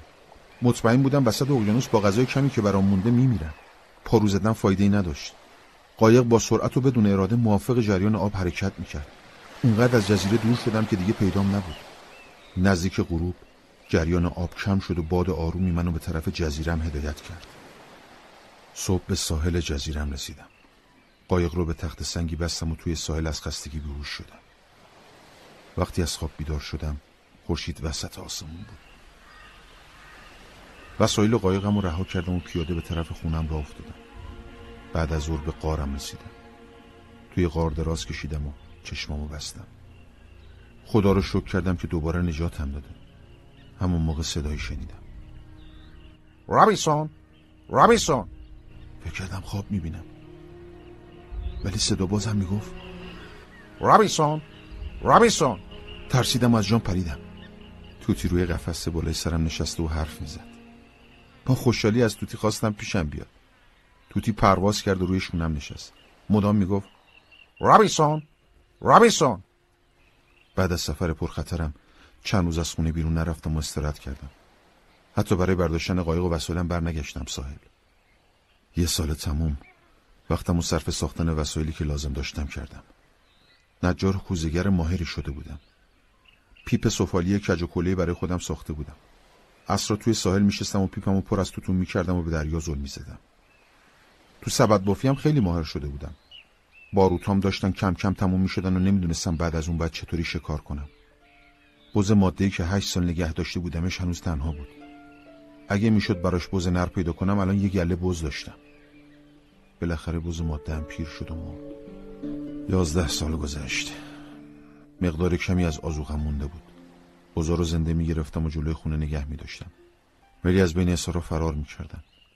چاله هایی توی مسیر حرکتشون درست کردم و روشون رو با ساقای گندم پوشوندم. وقتی بزا می‌خواستن ساقا رو بخورن توی چاله گیر میافتادن ولی بازم از بالای چالا میپریدن و فرار می‌کردن. بالاخره یه شب یه تله بزرگ درست کردم بزایی که توی تله افتاده بودن رام نمی‌شدن. آخر سرم مجبور شدم آزادشون کنم. چند وقت بعد راه اهلی کردن بزا رو یاد گرفتم. باید گرسنه نگهشون میداشتم اگه سه چهار روز گرسنه میموندن رام می‌شدن. چند روز بعد بزغالایی که گیر افتاده بودن و با تناب بستم و به خونه بردم. بهشون غذا ندادم و چند روز بعد مقداری خوشی گندم جلوشون ریختم. بعد یه هفته بزغالا اهلی شدن. خیلی خوشحال بودم. یه قطعه زمین انتخاب کردم و دور تا دورش رو حسار کشیدم. اگه تعداد بزا بیشتر می‌شد حسارا رو جابجا می‌کردم. یه سال بعد یه گله دوازده یه بز داشتم. دو سال بعد چلو سه تا شدن با شیر بزا لبنیات درست کردم. مثل قدیما پنیر و کره میخوردم. من ارباب جزیرم بودم. موجودات جزیرم گوش به فرمانم شده بودن. مثل پادشاه ها غذا میخوردن. توتیمو خیلی دوست داشتم فقط اون اجازه داشت کنارم بشینه و حرف بزنه. سگم پیر شده بود. سگ بیچاره از اینکه جفتی نداشت افسرده شده بود. گربه هم زیاد شده بودن. جلوی غار میشستن تا بهشون غذا بدم یه روز تصمیم گرفتم دوباره به خونه یلاقین برم. می‌خواستم از روی تپا تمام جزیره رو ببینم. پیراهن بلندی که پوست بز دوخته بودم و پوشیدم و کلامو سرم کردم. کفش نداشتم. ولی چیزی شبیه کفش درست کرده بودم. سبدهای پر از غذا رو برداشتم و تفنگم و پر از بارود کردم و راه افتادم. به شرق جزیره رسیدم. از تپه بالا رفتم و دریا رو نگاه کردم. دریا آروم بود. نمی‌دونستم چرا دریا اینقدر آرومه. بعد فهمیدم جزر دریا از جهت مغرب شروع میشه. وقتی هم مد میشه جریان آب آروم میشه و از جزیره دور میشه. به کلبه سنگیم رفتم و بزرگترش کردم. بازم اتاق درست کردم و توی اتاقی که رطوبت کمتری داشت ظرفای سفالی و چند تایی سبد گذاشتم. درختایی که جلوی مزرعم کشته بودم مزرعه و خونه رو پشت خودش پنهون کرده بودن. گاهی سوار قایق می‌شدم و تو دریا گشت می‌زدم. ولی دیگه نمیذاشتم جریان آب از ساحل دورم کنه. یه روز به طرف صخره‌های سنگی رفتم تا توی ساحل قدم بزنم. چیز عجیبی دیدم. روی ماسای کنار دریا جای پای انسان بود. از ترس خوشگم زد. گوشامو تیز کردم ولی صدایی نشنیدم. بالای تپه صخره ایستادم. ولی تا چشم کار می‌کرد کسی پیدا نبود. دوباره به ساحل رفتم و جای پا رو نگاه کردم. شک نداشتم. رد پای انسانه. یه پای برهنه با پنج تا انگشت. با ترس به طرف خونه یلاقیم دویدم. هزار بار برمیگشتم و پشتم و نگاه می‌کردم. مثل دیوونه ها شده بودم. مطمئن بودم یه نفر دیگم تو جزیره هست. از صخره بالا رفتم و توی خونه سنگیم قایم شدم. اون شب تا صبح بیدار موندم و به خودم لرزیدم. هر لحظه ترسم بیشتر می‌شد و فکر می‌کردم الان یه کسی بهم حمله می‌کنه. فکر کردم شاید رد پای شیطان باشه. می‌دونستم گذر انسانی به جزیره نمیافته. شایدم آدم خورای جزیره روبرو بودن. میترسیدم. میترسیدم محصولات مزرعمو خراب کنن و گلای بزامو بدوزن تو همین دیروز آرزو داشتم توی جزیره انسانی ببینم. ولی حالا از رد پای یه انسان وحشت کرده بودم. فکر کردم شاید رد پای خودم باشه. یعنی یعنی رد پایی که اینقدر منو ترسونده. سه روز بعد جرأت کردم و با احتیاط از کلبه بیرون اومدم. پیش بزا رفتم. خیلی وقت بود که بزا رو ندوشیده بودم. چند تا از بزا مریض شده بودند و مرده بودن وقتی شیر بزا رو می دوشیدم پشت سرم رو نگاه می کردم یه دفعه بدون دلیل ترسیدم و فرار کردم. بعد که دیدم خبری نیست دوباره برگشتم و شیر بزا رو دوشیدم. ترس و فرارم رو چند بار تکرار کردم. دیوونه شدم. یه روز جرأت کردم و دوباره به همون ساحل رفتم. باید مطمئن می شدم جای پای خودم تو خیالم راحت می شد وقتی رسیدم پامو روی رد پا گذاشتم. رد پا خیلی از پای خودم بزرگتر بود. از ترس تب کردم و به طرف خونه دویدم. مطمئن بودم وحشیا به جزیره اومدن و همین روزاست که بهم حمله کنن. تصمیم گرفتم خونه یلاقیم نابود کنم و گله رو تو جنگل رها کنم. اینجوری هیچ وقت نمیفهمیدن کسی تو این جزیره است ولی, ولی پشیمون شدم. دور تا دور خونم و هزار تا نهال کشتم. تا راهی به خونه نباشه. باید خودم پشت نهالا پنهون می‌کردم تا از لابلاشون کمین کنم. یه سال طول کشید تا نهالا بزرگ شن. بعد شیش سال جلوی خونم جنگل انبوهی درست شده بود. کسی فکر نمی‌کرد پشت جنگل انبوه بین صخره خونه ای باشه. توی جزیره گشتم و جای امنی برای گله بزا پیدا کردم. قسمت شرقی جزیره درخت خیلی کمی داشت. برای چریدن بزا مناسب بود. یه رد پا. اونقدر نگرانم کرده بود تا از جانم محافظت کنم. صبحی که هوا خوب بود به قسمت غربی جزیره رفتم. روی تپه وایستدم و به دریا نگاه کردم. به نظرم اومد قایقی توی آب داره حرکت می‌کنه. چون دوربی نداشتم مطمئن نبودم درست می‌بینم یا خیالاتی شدم. از تپه پایین اومدم. کنار تپه کوی از استخون سر و دست و پا بود. کنار استخونه خاکستر آتیش بود. فهمیدم آدم خورا اسیراشون اینجا کباب کردن. حالم بد شده استفراغ کردم. به زحمت از جا بلند شدم و از اونجا فرار کردم. وقتی حسابی از صحنه دور شدم گوشه نشستم. صحنه استخونا لحظه از جلوی چشمم کنار نمی‌رفت. خدا رو شکر کردم که مثل آدم خورای وحشی نیستم. وقتی به خونه رسیدم حالم بهتر شده بود. طی 18 سالی که توی جزیره زندگی می کردم تا به حال آدم خورا را از نزدیک ندیده بودم. فهمیدم خیلی کم به جزیره میان و بیشتر توی ساحل غربی هستن. از ترس گیر افتادن تو چنگال آدم خورا تا دو سال فقط دور بر خونه میگشتم. حتی جرئت نمی‌کردم برای شکار ایوونا تیراندازی کنم. همیشه تفنگم همراه بود و آماده حمله وحشیا بودم. ترسم ازشون باعث شده بود به خیلی از برنامه زندگی روزمرم نرسم شب و روز تصور می‌کردم آدم خورا رو می‌کشم و اسیراشون رو نجات میدم. ولی خیلی خوب می‌دونستم تنهایی از پسشون بر نمیام. فکر بهتری به سرم زد. تصمیم گرفتم باروتام رو زیر جایی که آتیش روشن می‌کنم بریزم تا وقتی آتیش روشن کردم منفجر شم. ولی اونقدر بارود نداشتم. با خودم فکر کردم وقتی قایقشون رو دیدم پنهون شم و از دور نگاهشون کنم. شاید بشه از دور بهشون شلیک کنم. برای همین بالای بزرگترین درخت نزدیک خونم رفتم. چند توی تفنگ داخل درخت جاسازی کردم. دو ماه بالای تپه می‌رفتم و کشیک می‌دادم. ولی اثری از قایق وحشی ها ندیدم. فکر کردم قرنهاست که همین کارو دارن می‌کنن. من حق ندارم مزاحمشون شم اصلا به من چه که مجازاتشون بکنم. خودم سالاس بزا رو می‌کشم و می‌خورم. پس بزام باید به جون من بیفتن خدا خودش همه ما رو قضاوت می‌کنه. تصمیم گرفتم تا وقتی به من حمله نکردن کاری به کارشون نداشته باشم. ترسان باعث شده بود فقط بخورم و بخوابم. ماها بود که کار مفیدی نکرده بودم. زیاد از خونه بیرون نمی‌رفتم. شکار نمی‌کردم. حتی میخی نمیکوبیدم. مباد آدم خورا صدامو بشنون. آتیش روشن نمی‌کردم تا دودش رو ببینن. فقط گاهی وسط جنگل آتیش روشن می‌کردم. یه روز وسط جنگل غار بزرگی پیدا کردم. ورودی غار پشت تخت سنگ بزرگی قرار داشت. جلوی تخت سنگ درختای زیادی بود. به نظرم جای امنی اومد. مطمئن بودم کسی جرأت نمی‌کنه داخل غار شه تصمیم گرفتم یواشکی وارد غار شم و سر گوش یاب بدم. شاخهای بزرگ رو کنار زدم و جلوی غار ایستادم خیلی بزرگ و تاریک بود. تا خواستم وارد غار شم دوتا چشم تای غار درخشیدن. چشما مثل دوتا ستاره به هم زل زده بودن. از ترسم فرار کردم و توی جنگل دویدم. وسط راه با خودم فکر می‌کردم 20 سال توی جزیره حیوانای وحشی ندیدم. چرا باید از دوتا چشم بترسم؟ خودمو جمع جور کردم. سر یه تیکه چوب رو آتیش زدم و چوب رو مثل مشعل تو دستم گرفتم و داخل غار شدم. چند قدم رفتم جلو. صدای ناله شنیدم. ترسیده بودم و عرق سرد میریختم. با احتیاط راه افتادم.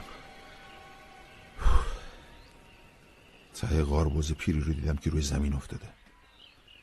بوز جون می‌داد.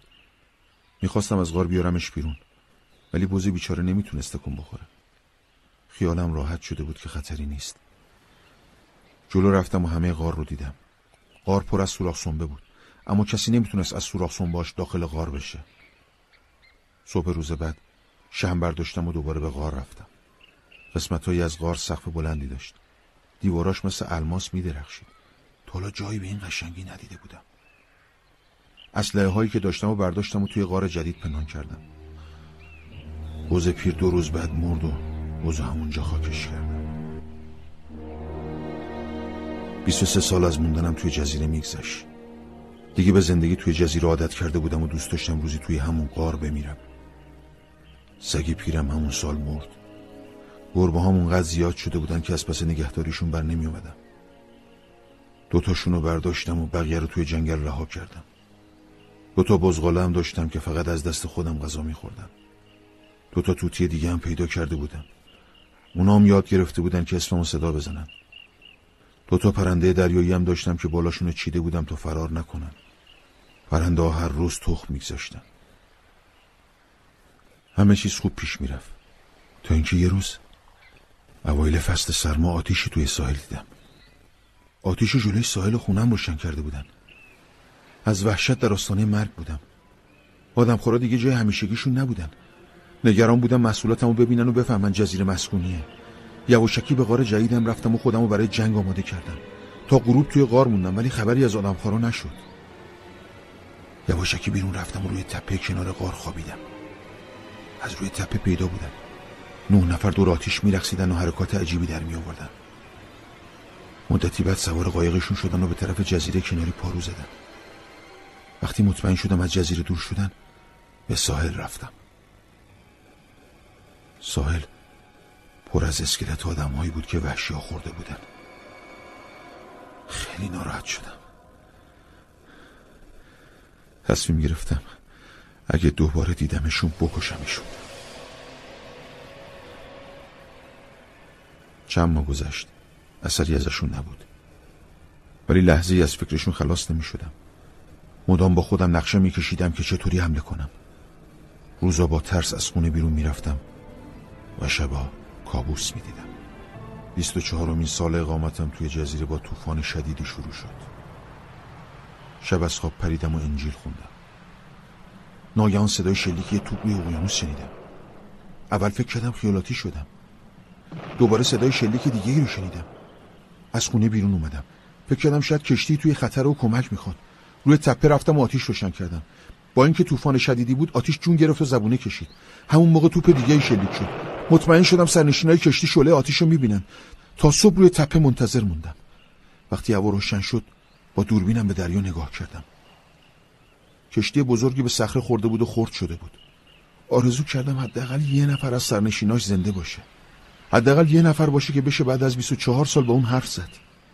چند ساعت بعد آب جسد یکی از افراد کشتی رو به ساحل آورد. مرد شلوار کهنه پاش بود. از سر و وضع ظاهرش نمی‌تونستم حدس بزنم اهل کدوم کشوره. از توی جیبش پیپ سالمی پیدا کردم. وقتی دریا آروم شد به طرف کشتی رفتم تا اگه کسی زنده مونده نجاتش بدم.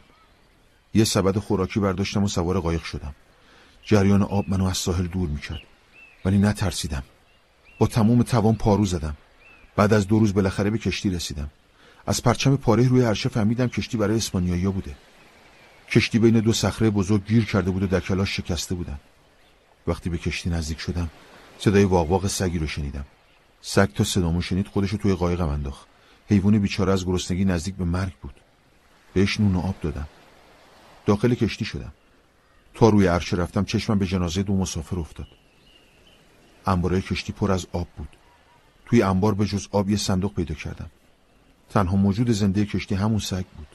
صندوق و کفش مسافران غرق شده رو برداشتم و سوار قایق شدم. با سگ به ساحل جزیره برگشتم. تا به ساحل رسیدم در صندوق رو باز کردم. داخل صندوق چند ظرف مربا چند دست لباس و کیسه پر از سکه طلا بود. دلم می‌خواست همه سکه رو بدم و دو جفت جوراب پیدا کنم. و با قبل از خواب به زندگی گذشتم فکر می‌کردم. دوران کودکیم. فرارم از خونه مزرعی که توی برزیل داشتم. زنده موندنم توی این جزیره متروک رد پایی که پیدا کرده بودم. یه شب خواب دیدم. آدم خورا به جزیره اومدن و می‌خوان یکی از اسیراشون رو کباب کنن. اما اسیر از دستشون فرار کرد و به من پناه آورد.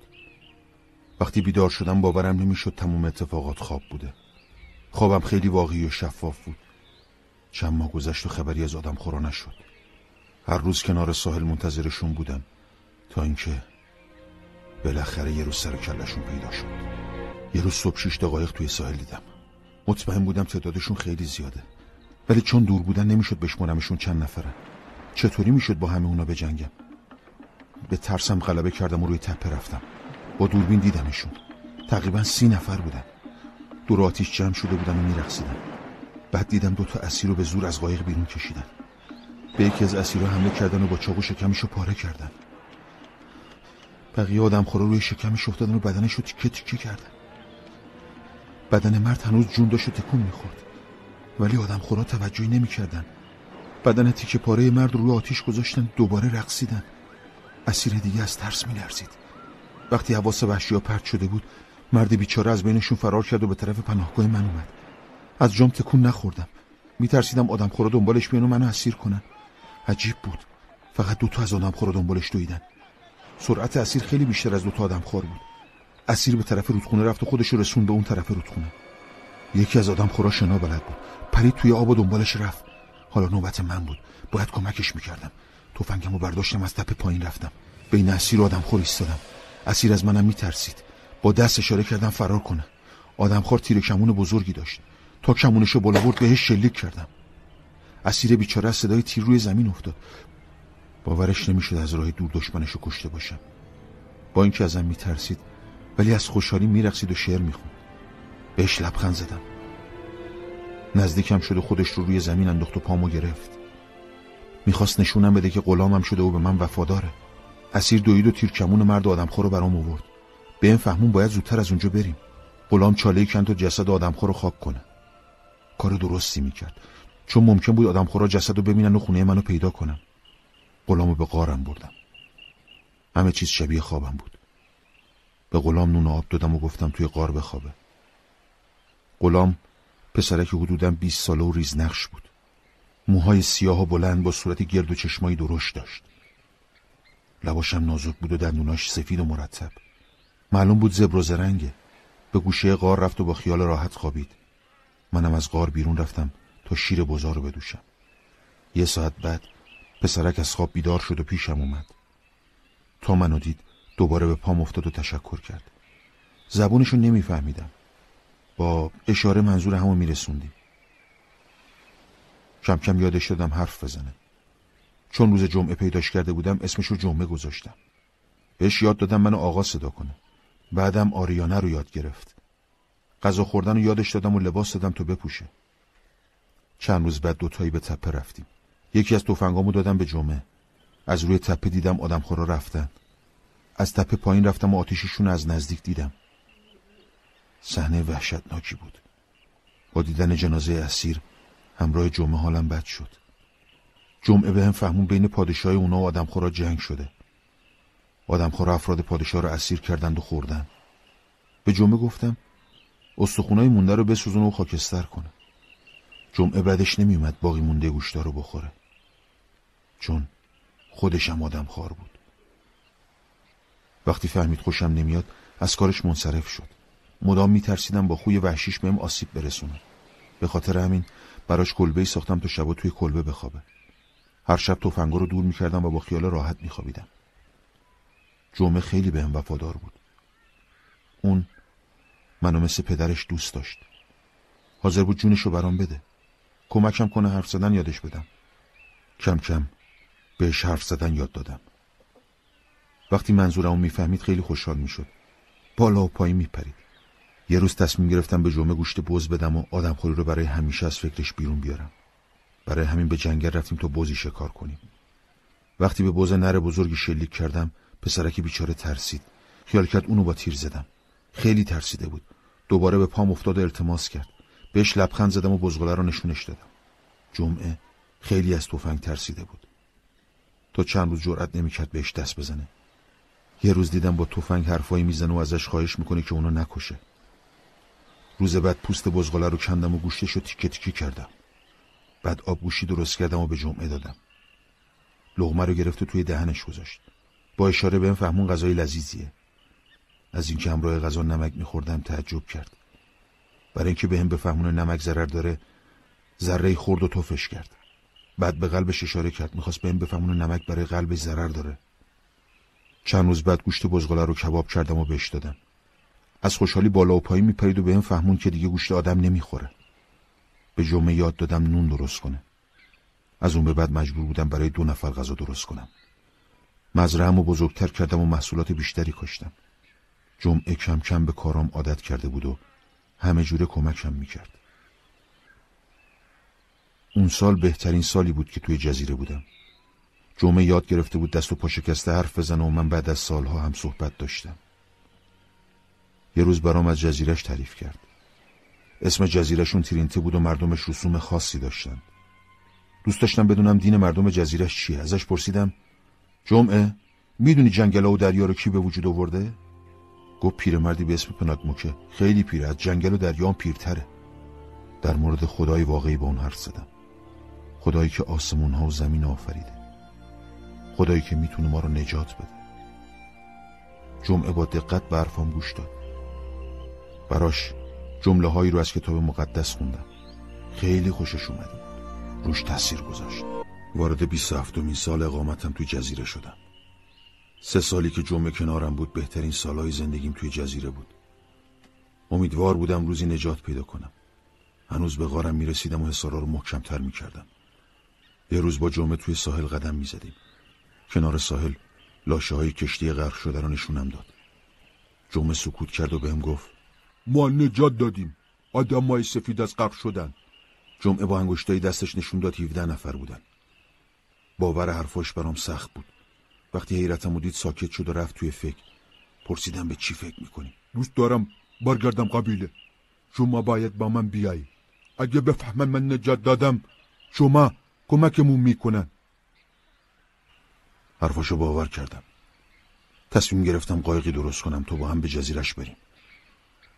جمعه درخت مناسبی رو پیدا کرد و با هم درخت رو بریدیم. یه ماه طول کشید تا قایقمون رو بسازیم. دو هفته طول کشید تا قایقمون رو با آب بندازیم. یه ماه طول کشید تا براش بادبون درست کنیم. بادبون قشنگی نشد ولی مقاوم بود. هدایت قایق برای جمعه عجیب بود. قایق رونی و کار با بادبونا رو یاد گرفت.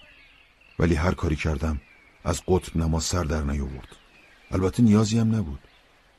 روزا جزیرش از ساحل معلوم بود. شبان با نور ستاره راه رو پیدا می‌کرد. قایق رو پشت بوتها قایم کردیم. برای اینکه باد و بارون خرابش نکنه روش رو با شاخ و برگ پوشوندیم. منتظر مونی فصل سرما تموم بشه و بعد حرکت کنیم. چند هفته بعد باد و بارون تموم شد آماده حرکت شدیم. صبح روزی آفتابی برای حرکت آماده شدیم. وسایل سفر رو جمع کردیم. جمعه به ساحل رفت و لاک پشت شکار کنه. ناگهان صدای داد و فریادش شنیدم. به طرف خونه میدوید و داد می‌زد. آقا آقا آقا بدبختی بدبختی اومد اومد. خیلی ترسیده بود. نتونستم آرومش کنم.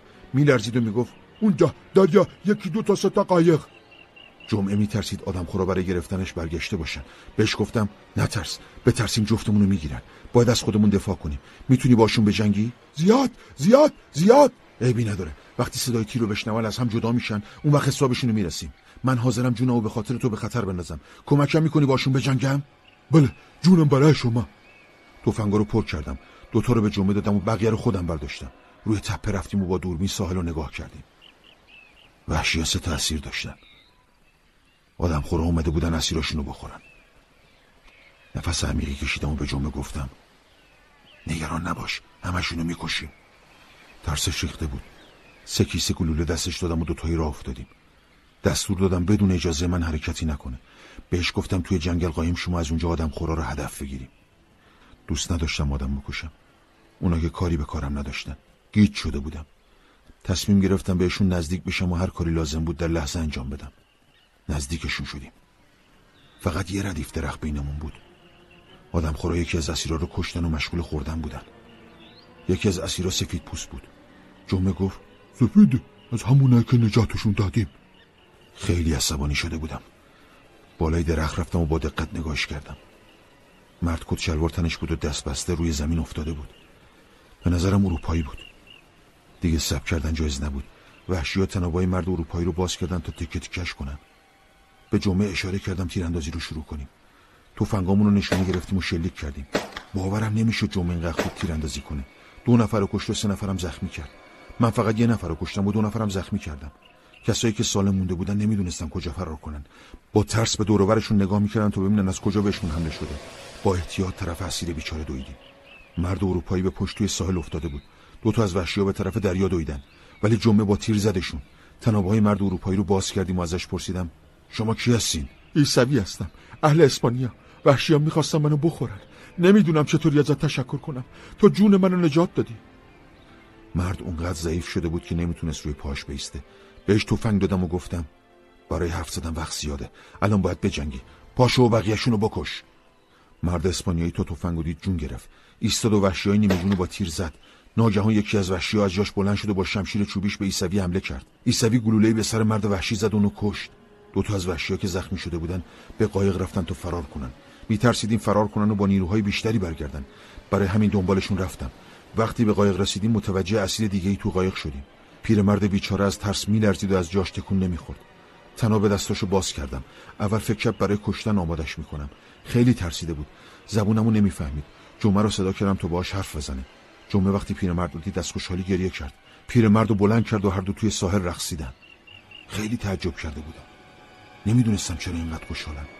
جمعه با خوشحالی گفت بابامه بابا. من و مرد اسپانیایی هر دو به گریه افتادیم. دو تا از وحشیایی که زخمی شده بودن با قایق فرار کردن. بعد جور زخمی شده بودن. مطمئن بودم به جزیرشون نمی‌رسن. جمعه به زبون عجیب غریب خودشون با پدرش صحبت می‌کرد. پیششون رفتم و برای پدرش نون آب بردم. پیرمرد بیچاره نون خورد و کمی جون گرفت. یک کمی نونم برای مرد اسپانیایی بردم. مرد زیر سایه درخت لم داده بود. تا منو دید خواست از جاش بلند شه ولی جون نداشت. به جمعه گفتم پاهاشو ماساژ بده. من و جمعه تخت چوبی برداشتیم و ایسوی و پدر جمعه رو یکی یکی روشون خوابوندیم و به خونه بردیم. جزیرم آباد شده بود. من پادشاه جزیره بودم. سه نفر توی جزیره زندگی می‌کردن که جونشون و مدیون من بودن. جمعه رو خدا پرست کرده بودم. ولی پدرش هنوز بود پرست بود. ایسوی مسیحی بود. اما برخلاف من که پروتستانم کاتولیک بود. به مردم جزیرم آزادی دادم تا مذهب خودشونو داشته باشن. برای مهمونام چادری نزدیک خونم برپا کردم. براشون آپوشت بز درست کردم. همه دور هم جمع شدیم و غذا خوردیم. روز بعد جمعه جنازه آدم خورا رو دفع کرد. از پدر جمعه پرسیدم به نظرش آدم خورایی که فرار کردن برای انتقام برمیگردن یا نه. جمعه سوالم رو از پدرش پرسید و جوابش رو برام ترجمه کرد. به جزیره نمی‌رسن. چون ازشون خون میره. اگه هم به جزیره برسن فکر می‌کنم بالای آسمونی کشتچشون نمی‌دونه کارشون ما بوده. باورشون نمیشه از راه دور بشه کسی رو کشت. حرفای پدر جمعه آرومم نمی‌کرد. تا مدت ها افرادم رو مسلح نگه داشتم. ولی بعد از مدتی که دیدم واقعا خبری نیست خیالم راحت شد. با پدر جمعه در مورد سفر به سرزمینشون صحبت کردم. به من اطمینان داد. افرادشون از ما مراقبت می‌کنن. ایسوی گفت دوستای اسپانیایی من توی همون جزیره گیر افتادن. دوستای بدبختم گرستن و برای آدم خورا کار می‌کنن. هر لحظه میترسن شامشون بشن. خواهش می‌کنم نجاتشون بدیم. به نظرت دوست دارم بیان اینجا با ما زندگی کنن؟ شایدم با هم تلاش کنیم تا از جزیره نجات پیدا کنیم. معلومه دوست دارن ولی خطرناکه. هممون باید با هم بریم. من و پدر جمعه یواشکی بریم و براشون پیغام ببریم. ازشون قول می‌گیریم به حرفای شما گوش بدن و کار دیگه ای نکنن. خودم هم تا آخر عمرم به شما وفادار میمونم. دستور دادم هرچه زودتر حرکت کنن. ایسوی پیشنهاد داد چند ماه دیگه حرکت کنن. الان بهترین موقع برای شخ زدن و کاشت گندمه. اول آزوقه جمع کنی بعد بیاریمشون. پیشنهادشو قبول کردم. اگه تعدادمون بیشتر می‌شد غذا کم می آوردیم وقت زیادی داشتیم. دیگه از وحشیا نمی ترسیدیم امیدوار بودیم نجات پیدا کنیم. به فکر ساختی یه قایق بزرگ افتادم. برای همین به جمعه و پدرش درخت رو نشون دادم تا قطعشون کنن. بهشون یاد دادم که چطوری قایق بزرگی بسازن. خودم و ایسوی هم روزها به شکار می‌رفتیم و گله رو بزرگتر می‌کردیم. انگور زیادی چیده بودیم و کشمش های زیادی برای زمستون داشتیم. یکی از غذای اصلیمون نون و کشمش بود. چند ماه بعد محصولات زمین آماده درو شدن. چند کیسه برنج و گندم درو کردیم. اونقدر زیاد بود که برای سفر به قاره آمریکا هم کافی بود. و پدر جمعه برای سفر آماده شدن. نامه ای نوشتم و به ایسوی دادم. بهش گفتم نامه رو برای دوستات بخون و ازشون بخوا زیرش امضا کنن توی نامه نوشته بودم به من وفادار باشن و ازم دفاع کنن. ایسوی نامه رو گرفت و قول داد همه اونو امضا می‌کنن. ایسوی و پدر جمعه با قایقی که از وحشیا مونده بود حرکت کردن تا کسی بهشون شک نکنه. قایقشون رو پر از غذا و تفنگ و گلوله کردم بعد از 27 سال راه نجاتی پیدا کرده بودم یه هفته از رفتنشون میگذشت. جمعه توی ساحل نشسته بود که ناگهان از جاش پرید و فریاد زد. آقا آقا اومدن اومدن. از خونه بیرون دویدم و به دریا نگاه کردم. کشتی با بادبانی مسلسی به سمت ساحل می اومد به جمعه گفتم کشتی دوستامون نیست. باید بریم تا خونه و تا مطمئن نشدیم بیرون نیاییم. وقتی کشتی به ساحل رسید روی تپه رفتم و با دوربین نگاهشون کردم. کشتی انگلیسیا بود. مردم کشور خودم. قلبم تون تون می‌زد. خوشحال بودم و از شوخ تکون نمیخوردم ولی چرا انگلیسی ها به جزیره دور افتاده اومده بودن؟ ترسیدم. دریا طوفانی نبود و باد اونا رو نیاورده بود. ترجیح دادم همونجا پنهون شم. میترسیدم راهزن باشن و اسیرمون کنم. دور از محل زندگی ما لنگر انداختن و وارد جزیره شدم. سیزده نفری از کشتی پیاده شدن. انگلیسی ها سه اسیر با خودشون داشتن. اسیرا پریشون و درمونده بودن. جمعه گفت آقا آقا سفید پوستا اسیراشون رو خورد؟ نه جمعه. میترسم اسیرا رو بکشن. یکی از ملوانا شمشیرش رو طرف اسیرا گرفت. از ترس لرزیدم. فکر کردم کاش پدر جمعه و ایسوی اینجا بودن تا ملوانا رو میکشتیم و اسیراشون رو نجات می‌دادیم. همون موقع چند تا از ملوانا اسیرا رو تنها گذاشتن و به جنگل رفتن. اون سه تا اسیر تنها شده بودند و فرصت فرار داشتن. ولی ترسیده بودند و از جاشون تکون نمیخوردن. کمی بعد ملوانا انگلیسی برگشتن. دو نفرشون زیر آفتاب خوابیدن. دو تا از ملوانا سعی کردن قایقشون رو با آب بندازن. ولی قایقشون سنگین بود و تکون نمی‌خورد. یکیشون فریاد زد. فایده نداره. آب دریا که بالا بیاد خودش میره تو آب. می‌دونستم جزر و مد دریا چه زمانیه. برای همین تصمیم گرفتم شب بهشون حمله کنم. وقتی دیدم که ملوانا سرشون گرمه نزدیکتر شدم تا سر از کارشون در بیارم. اسیرا تنها گوشه ساحل نشسته بودن. از بین درخت آروم گفتم. هی شما کی هستین؟ اسیرا اونقدر ترسیده بودن که جوابی ندادن. دوباره گفتم نترسین. می‌خوام کمکتون کنم. حتما شما رو خدا فرستاده. چون کسی نمی‌تونه ما رو نجات بده. شما فرشته این؟ نه نه. فرشته ها قشنگتر از منن. من انگلیسی همو تو همین جزیره زندگی می‌کنم. من و غلامم بهتون کمک می‌کنیم. حالا قضیه چیه؟ من خدای کشتی هم افراد کشتیم با هم متحد شدن. می‌خوان من و معاونمو توی جزیره بذارن و برن. اصله هم دارن؟ سه تا اسلحه داریم. یکیشون توی کشتیه. افراد کشتی آدمای خوبی بودن. دو نفرشون شورش کردن و بقیه هم کشیدن طرف خودشون. اگه دوتاشون اسیر کنیم بقیه مطیعمون میشن. فعلا باید از دستشون فرار کنیم. باشین دنبالم بیاین. اسیرا آروم از جاشون بلند شدن و دنبالم اومدن. اونا رو وسط جنگل بردم و قایمشون کردم. بعد گفتم من می‌خوام به خاطر شما جونمو به خطر بندازم. پس تو وقتی که تو جزیره هستین باید به حرفم گوش بدین و بهم وفادار باشین. مهمتر از همه. اگه موفق شدیم کشتی رو ازشون بگیریم من و غلامم و دوستامو به انگلستان ببریم. ناخدا و دوستاش تشکر کردن و قول دادن کمکمون کنن. به ناخدا گفتم بهتر همه رو بکشیم. ولی ناخدا موافق نبود. نمی‌خواست بی گناهام کشته بشن. بهشون دو تا تفنگ دادم. گفتم کار درست رو انجام بدن. همون موقع صدای یکی از شورشی ها اومد. فهمیده بود اسیرا فرار کردن و داشت داری بیداد می‌کرد. ناخدا آروم به طرف ساحل رفت و به مرد شلیک کرد. ای خائن از خدا بخواد تو رو ببخشه. جلو رفتم. بقیه افراد وقتی منو با اون لباس قیافه دیدن ترسیدن و تسلیم شدن. همه از ناخدا خواستن اونا رو ببخشه. ناخدا به من اشاره کرد. رئیسینه اگه بخواد کمکتون می‌کنه تا کشتی رو از دست بقیه شورشی ها بگیریم. گفتم. ناخدا تا وقتی ملوانا تو جزیره منم باید دست و پاشون بسته باشه. همون موقع بقیه ملوانا که صدای تیر رو شنیده بودن به ساحل اومدن و تسلیم شدن. دست و پاشون رو بستیم و خیالمون راحت شد. بعد سر گذشتم و برای ناخدا تعریف کردم. ناخدا با دقت برفان گوش داد. باورش نمی‌شد 27 سال توی جزیره دوام آوردم. از کارم تعجب کرده بود. مخصوصا از حسارای محکمی که ساخته بودم و جنگلی که جلوی خونم درست کرده بودم. خوشحال بودم که سوار کشتی میشیم و از جزیره میریم. ولی ناخدا گفت خیلی خوشبین نباش. شورشی های دیگه ای هم تو راهن. میترسیدم. میترسیدم تعداد شورشی ها زیاد باشه و از اوهتشون بر نیاییم برای همین قایقایی که توی ساحل مونده بود و سوراخ کردیم. می‌خواستیم وقتی به جزیره رسیدم فرصت فرار نداشته باشم. وقتی کشتی شورشی ها به جزیره نزدیک شد ناخدا گفت ده نفرن. همشون هم تفنگ دارن. دوتا اسیرم همراهشونه. از صدای ناخدا فهمیدم خیلی ترسید و با قاطعیت گفتم با شرایطی که ما داریم نباید از چیزی بترسیم باید تلاش کنیم و خودمون رو نجات بدیم. مرگ برای ما مساوی آزادیه. ناخدا با شنیدن حرفام روحیه گرفت و آماده مبارزه شد. ملوانای اسیر رو جای امنی بردیم. ناخدا به دو تا از اسیرا مشکوک بود. می‌گفت ممکنه با سر صدا ما رو لو بدن. برای همین هر دو رو به کلبه صخره‌ای بردم و دستور دادم از جاشون تکون نخورن. وقتی شورشیا به ساحل رسیدن از دیدن قایقای سوراخ تعجب کردند. برای اینکه افرادشون رو پیدا کنن چند بار شلیک هوایی کردن. مطمئن بودم دو نفری که توی کلبه صخره‌ای هستن صدای شلیکا رو نمیشنیدن. وقتی شورشیا نشونی از افرادشون ندیدن توی جزیره راه افتادند و صداشون زدن. ما توی پناهگاه منتظرشون بودیم تا با تیر بزنیمشون. شورشیا ترسیده بودن. روی تپه جمع شده بودن و با هم مشورت می‌کردن.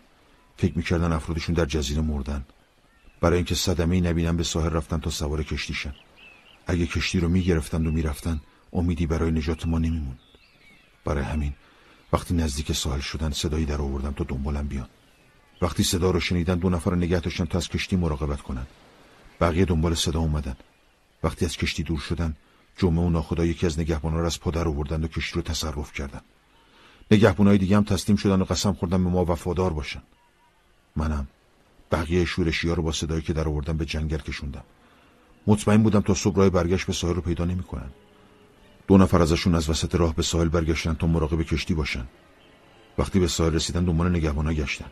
از غیبتشون عصبانی شده بودن. ناخدا رو با تیر زد و اون یکی هم به جنگل فرار کرد. چون هوا تاریک شده بود نمی‌دیدن که ما چند نفریم. ناخدا تک تک صداشون کرد و ازشون خواست تسلیم شن. وقتی همه تسلیم شدن ناخدا گفت شما می‌خواستین منو توی جزیره تنها بذارین و برین. فکر می‌کردین هیچ کی تو جزیره نیست؟ ولی کور خوندین. صاحب جزیره یه مرد انگلیسی که منو نجات داد. این مرد همتون می‌بره انگلستان رو دست قانون میده. باورم نمی‌شد زمان نجاتم رسیده باشه. مطمئن بودم ناخدا منو با خودش به انگلستان می‌بره. شورشی ها مطیع شده بودند و قسم میخوردن که کار اشتباهی نکنن دلم نمی‌خواست شورشی ها منو ببینن برای همین حرفامو ناخدا به دیگران می‌گفت. به ناخدا دستور دادم تا همه رو به خونم ببر و در روشون ببنده. چون دست و پاشون بسته مطمئن بودم فرار نمی‌کنن. ناخدا رو پیش زندونیای کلبه صخره‌ای فرستادم. هر دو قسم خوردم به من وفادار باشند و کمکم کنن مسیرها من و خدای خودشون می‌دونستم ناخدا بهشون گفته بود بدون اجازه من حق نداشتن جایی برن. چون من همه جای جزیره رو می‌شناسم و زود پیداشون می‌کنم. ناخدا رو با چند نفر از همراهاش فرستادم تا کشتی رو به ساحل بیارن. من و جمعه توی جزیره منتظر موندیم. توی ساحل نشسته بودم و از دور کشتی رو نگاه می‌کردم. نمی‌دونستم ناخدا موفق میشه کشتی رو پس بگیره یا نه. چند ساعت بعد ناخدا از روی کشتی کشتی تیر هوایی زد. تیر هوایی نشانه تصرف کشتی بود. خیالم راحت شد. دیگه وقتش شده بود. بعد از سالها از این جزیره خلاص شد. وقتی ناخدا با کشتی نزدیک ساحل شد به سمتش دویدم و بغلش کردم. ناخدا با خوشحالی گفت حاکم عزیز کشتی در خدمت شماست. هممون تحت فرمان شماییم. شما رو خدا برای ما فرستاده. سرنوشت من و شما شبیه همه. هر دومون توی جزیره به هم رسیدیم تا به هم کمک کنیم. مطمئنم خدایی وجود داره که من و تو رو توی دور افتاده ترین جای دنیا زیر نظر داره.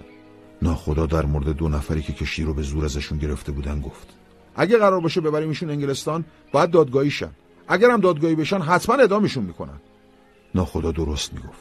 ما نمی‌خواستیم توی انگلستان ادام شن. برای همین گفتم بهتره بذاریمشون توی همین جزیره رو بریم. جزیره زندان خوبیه. هرچی باشه بهتر از اینه که بمیرن. ناخدا قبول کرد و من موضوع رو به دو شورشی گفتم. اگه پاتون به خاک انگلیس برسه دادگاهی و ادام میشین. ولی من بهتون اجازه میدم که توی جزیره من بمونین و دوتایی زندگی کنین. دقیقا همون کاری که می‌خواستیم با ناخدا بکنین. هر دو از اینکه فرصت زندگی داشتن خوشحال شدن. قول دادم بهشون اسلحه بدم تا توی جزیره از خودشون دفاع کنن. زمین کشاورزی و خونه هارم نشونشون دادم. بهشون یاد دادم نون بپزن و ده ها تجربه دیگه. در مورد اون اسپانیایی هم بهشون گفتم و نامه براشون نوشتم. گفتم با صلح و صفا با هم زندگی کنن و کاری به کار هم نداشته باشن. زمان خداحافظی از جزیره رسیده بود. کلاه پشمی و توتیمو برداشتم. سکایی که سالها جمع کرده بودم و برداشتم و با جمعه سوار کشتی شدیم. درست. 28 سال و دو ماه و 19 روز بود که از شهرم فرار کرده بودم. من در تابستان سال 1687 به انگلستان برگشتم. همه جا برام غریبه بود. انگار تا حالا پام اونجا نذاشته بودم. کمی توی شهر گشتم و گریه کردم. بعد سراغ زن ناخدا رفتم. همون کسی که قبل از سفر پولامو به اون داده بودم برام نگه داره. زن بیچاره پیر شده بود و شوهر دومشم از دست داده بود. چون فکر کرده بود مردم پولامو خرج کرده بود. وقتی منو زنده دید به دست و پام افتاد و ازم مسخایی کرد. گفتم احتیاجی به پولا ندارم. بعد به شهر خودم رفتم. پدر و مادرم مرده بودن. فقط دو تا از بچه های برادرم زنده بودن. چون فکر می‌کردم مردم ارسی برام نذاشته بودن. همه داراییم همون چند تا سکه بود. چون ناخدا و دوستاش منو باعث نجات خودشون می‌دونستن پول زیادی بهم دادن. با پولام سر و سامونی به زندگیم دادم. غلامم جمعه هم شمران بود و بیشتر از قبل بهم وفادار بود. یه روز تصمیم گرفتم به برزیل برم و زمینی که داشتم و ببینم. اول پیش ناخدای پیری که وصیت کرده بودم داراییامو به اون بدن رفتم.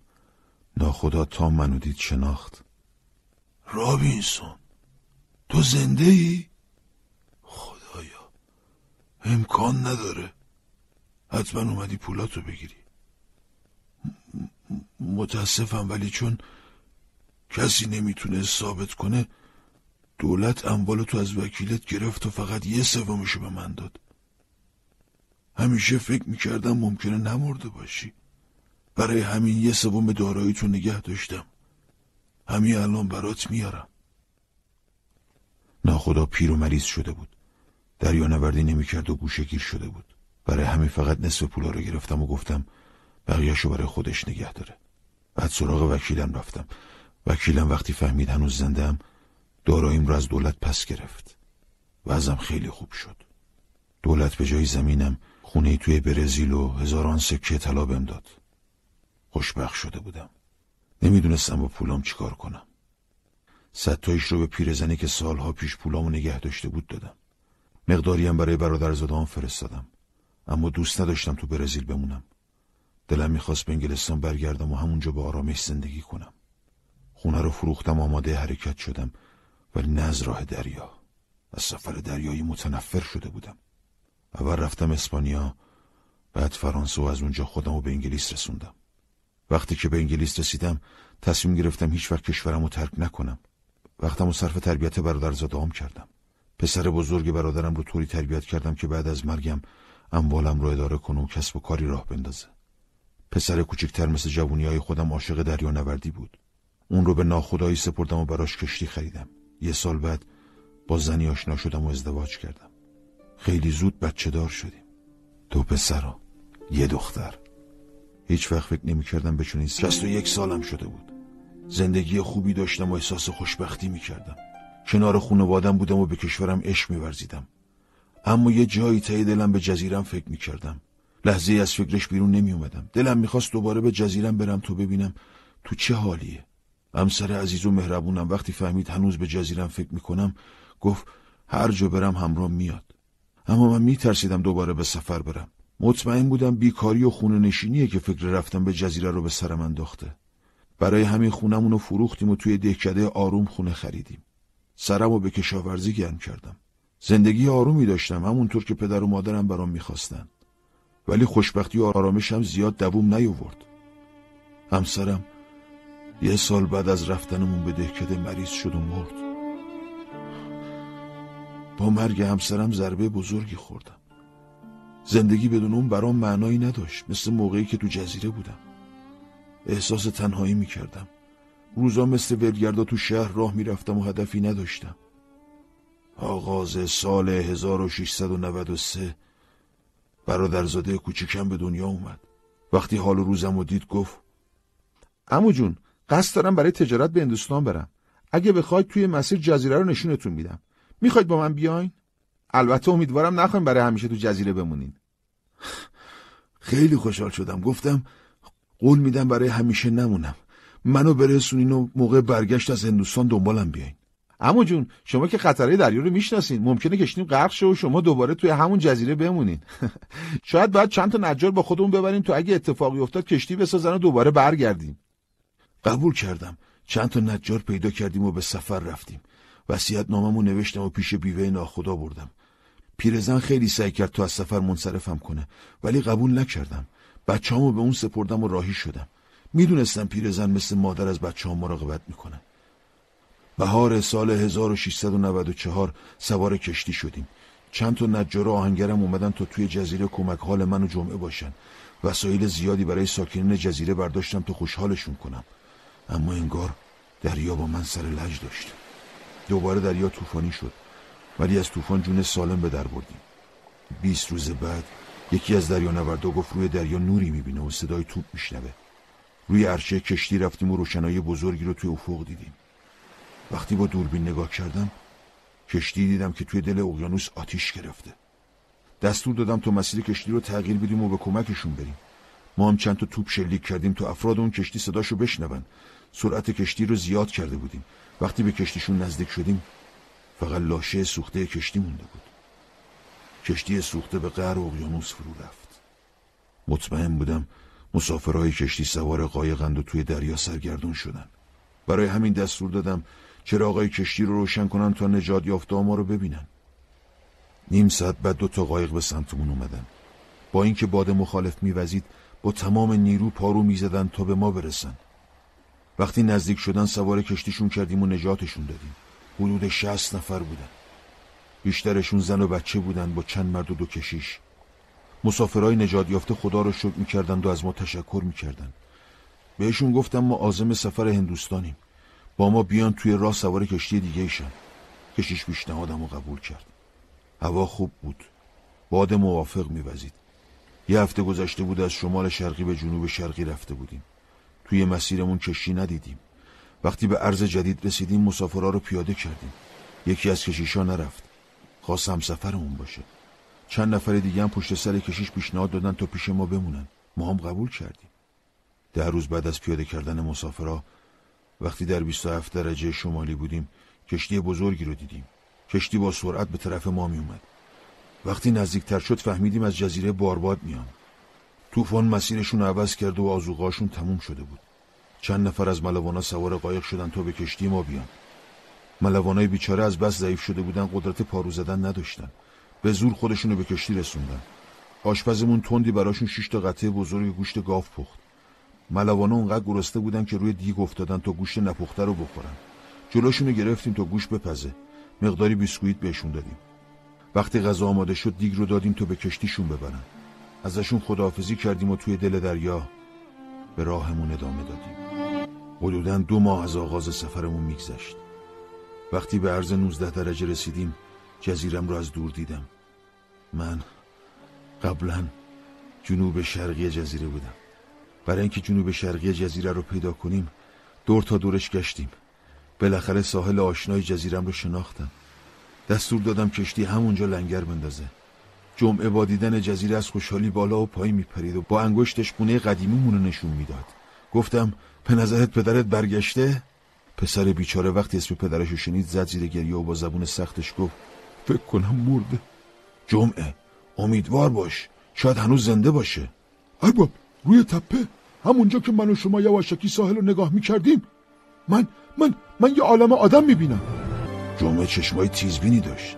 برای همین به حرفش اعتماد کردم و دستور دادم پرچم سفیدی به نشانه صلح بالای کشتی نصب کنن. با برادر زدام خدافزی کردم و با دوستام سوار قایق شدیم و به طرف جزیره پارو زدیم. وقتی به ساحل جزیره رسیدیم با جمعه و چند مرد مسلح از کشتی پیاده شدیم. اولین نفری که تو جزیره دیدم ایسوی بود. جمعه گریه می‌کرد و توی ساحل میدوید. پدر پیرشو از دور دیده بود. پدر و پسرم دیگه رو بغل کردند و زدن زیر گریه. ایسوی به دوستش گفت افراد جزیره رو خبر کنند و بهشون بگن من برگشتم. ایسوی منو به خونم برد و گفت وقتی فهمیدم شما بدون ما رفتین ناراحت شدم. از وقتی رفتین مثل روز برام روشن بود یه روز برمیگردیم. من و بابای جمعه رفتیم دنبال بقیه و همشون رو نجات دادیم. نجات دادیم و آوردیمشون به این جزیره. همشون زندگیشون رو مدیون شما. آرزوشون بود یه روزی شما رو ببینن. اسپانیایی برام جشن بزرگی گرفتن. تعریف کردن. اطلاعات خوبی از وحشیا به دست آورده بودن. اسپانیایی گفت آدمخورا از دو قبیله جدا بودن. حتی یه بارم به این جزیره اومدن. اومدن تو این جزیره تو با هم بجنگن. چندتایی رو دستگیر کردیم. وحشی ها دو سال کنار ما زندگی کردن. درگیری های کوچیکی بین اسپانیایی ها و انگلیسی های جزیره به وجود اومد. بیشتر هم سر شخ زدن زمین بود. آخر سر هم زمینه و جزیره رو بین هم تقسیم کردیم. با بوزا و وزرا چند وقت بعد انگلیسی ها سه مرد و چهار تا زن بومی رو به اسارت گرفتن. بیچاره ها گمون می‌کردن قرار خورده بشن. حالا جزیره من تقریبا سه دهکده شده بود. یه قسمت انگلیسی ها زندگی می‌کردن یه قسمت اسپانیایی ها و یه قسمت هم برده ها. هر کدوم از دهکده ها مزرعه خودشونو داشتن و به هم کمک می‌کردن. ایسوی می‌گفت یه بار از طرف آدمخورا حمله وحشیانه بهشون شده بود. اسپانیایی و انگلیسی ها به کمک هم شکستشون داده بودن. بعد هم کمک کرده بودن تا از نو خونه هاشون رو بسازن و مشغول زندگیشن. از اون حمله به بعد بردهای جزیره دیگه میلی به فرار آدمخواری نداشتن و سخت مشغول زندگی شدن. تعداد ساکنین جزیره زیاد شده بود. نمی‌شد هیچ کدومشون رو با خودم به انگلیس ببرم. کار عادلانه هم نبود که بعضیا رو ببرم و بعضیارم نه. گفتم با نجار و آهنگر و وسایل زندگی برگشتم تا کمکشون کنم تا زندگی راحتتری داشته باشن. ساکنین جزیره رو جمع کردم و گفتم حاضر این قسم بخوریم برای اجتماع خودتون تلاش می‌کنین؟ کینه ها رو از دلتون دور کنین و با صلح و آرامش با هم زندگی کنین. وقتی همه رو توی صلح و آرامش دیدم خیالم راحت شد. فردا وسایلی که آورده بودم و بینشون تقسیم کردم روزای بعد نجار براشون تخت و میز و صندلی ساخت افراد جزیره جمهوری تشکیل داده بودند و با هم کنار می اومدند منم مزاره هر کدومشون رو تقسیم بندی کردم و اسمشون رو نوشتم و بهشون سند دادم من مالک جزیره بودم و ساکنین جزیره بعد از یازده سال باید به هم مالیات می‌دادن. بهشون گفتم وحشیایی که توی جزیره زندگی می‌کنن دیگه نباید برده باشن. وحشیا با تمدن آشنا شدند و زندگی خوبی دارن. پس حقشون نیست برده باشن. به جاش می‌تونن به اسپانیایی کمک کنند و دستمزد بگیرن. بعد از یه ماه اوضاع سر و سامون گرفت. کشتی برادرزاده هم به جزیره اومدن تا سوارم کنن. من و جمعه آماده برگشت به انگلستان شدیم نجارا و آهنگرایی که آورده بودیم خواستن توی جزیره بمونند و همونجا زندگی کنن تصمیم خوبی بود چون به ساکنین جزیره کمک می‌کردن تا زندگی بهتری داشته باشن. با اهالی جزیره خداحافظی کردم. بهشون قول دادم دوباره برمیگردم و براشون گاو و گوسفند میارم سفر برگشتمون سفر خوبی نبود.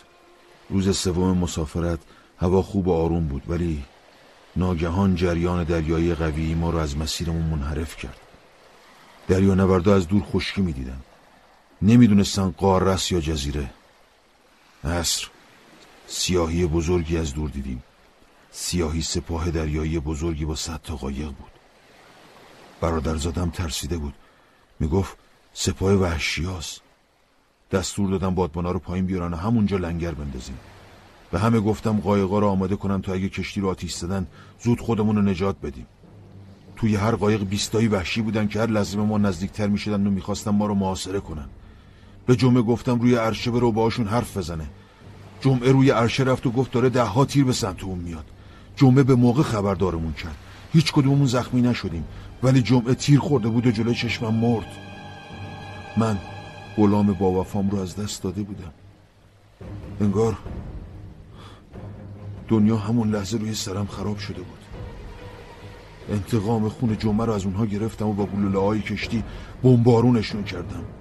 قایقاشون شکست و غرق شدن. نصفشون هم زخمی شدند و شنا کردند و تلاش کردند تا نجات پیدا کنن بینشون پسر جوونی برای زنده موندن دست و پا می‌زد و خواهش می‌کرد که نجاتش بدیم دستور دادن پسرک رو به کشتی آوردن. پسرک بیچاره از ترس مثل بید به خودش مینرزید با اینکه جون نداشت روی پاش بیسته اما چیزی نمی‌خورد. حرف می‌زد ولی ما زبونش نمیفهمیدیم. افراد کشتی خوشحال بودن که از دست وحشی ها خلاص شدن. ولی من از مردن جمعه تنها همدمم خیلی ناراحت بودم. جنازه جمعه رو توی تابوت گذاشتم و به اقیانوس انداختم. به احترامش تیر هوایی شلیک کردیم. چند روزی گذشت. پسرک اسیر به هم فهمون قصد حمله نداشتن. چون کشتی به نظرشون چیز عجیبی بوده می‌خواستن از نزدیک کشتی رو ببینن.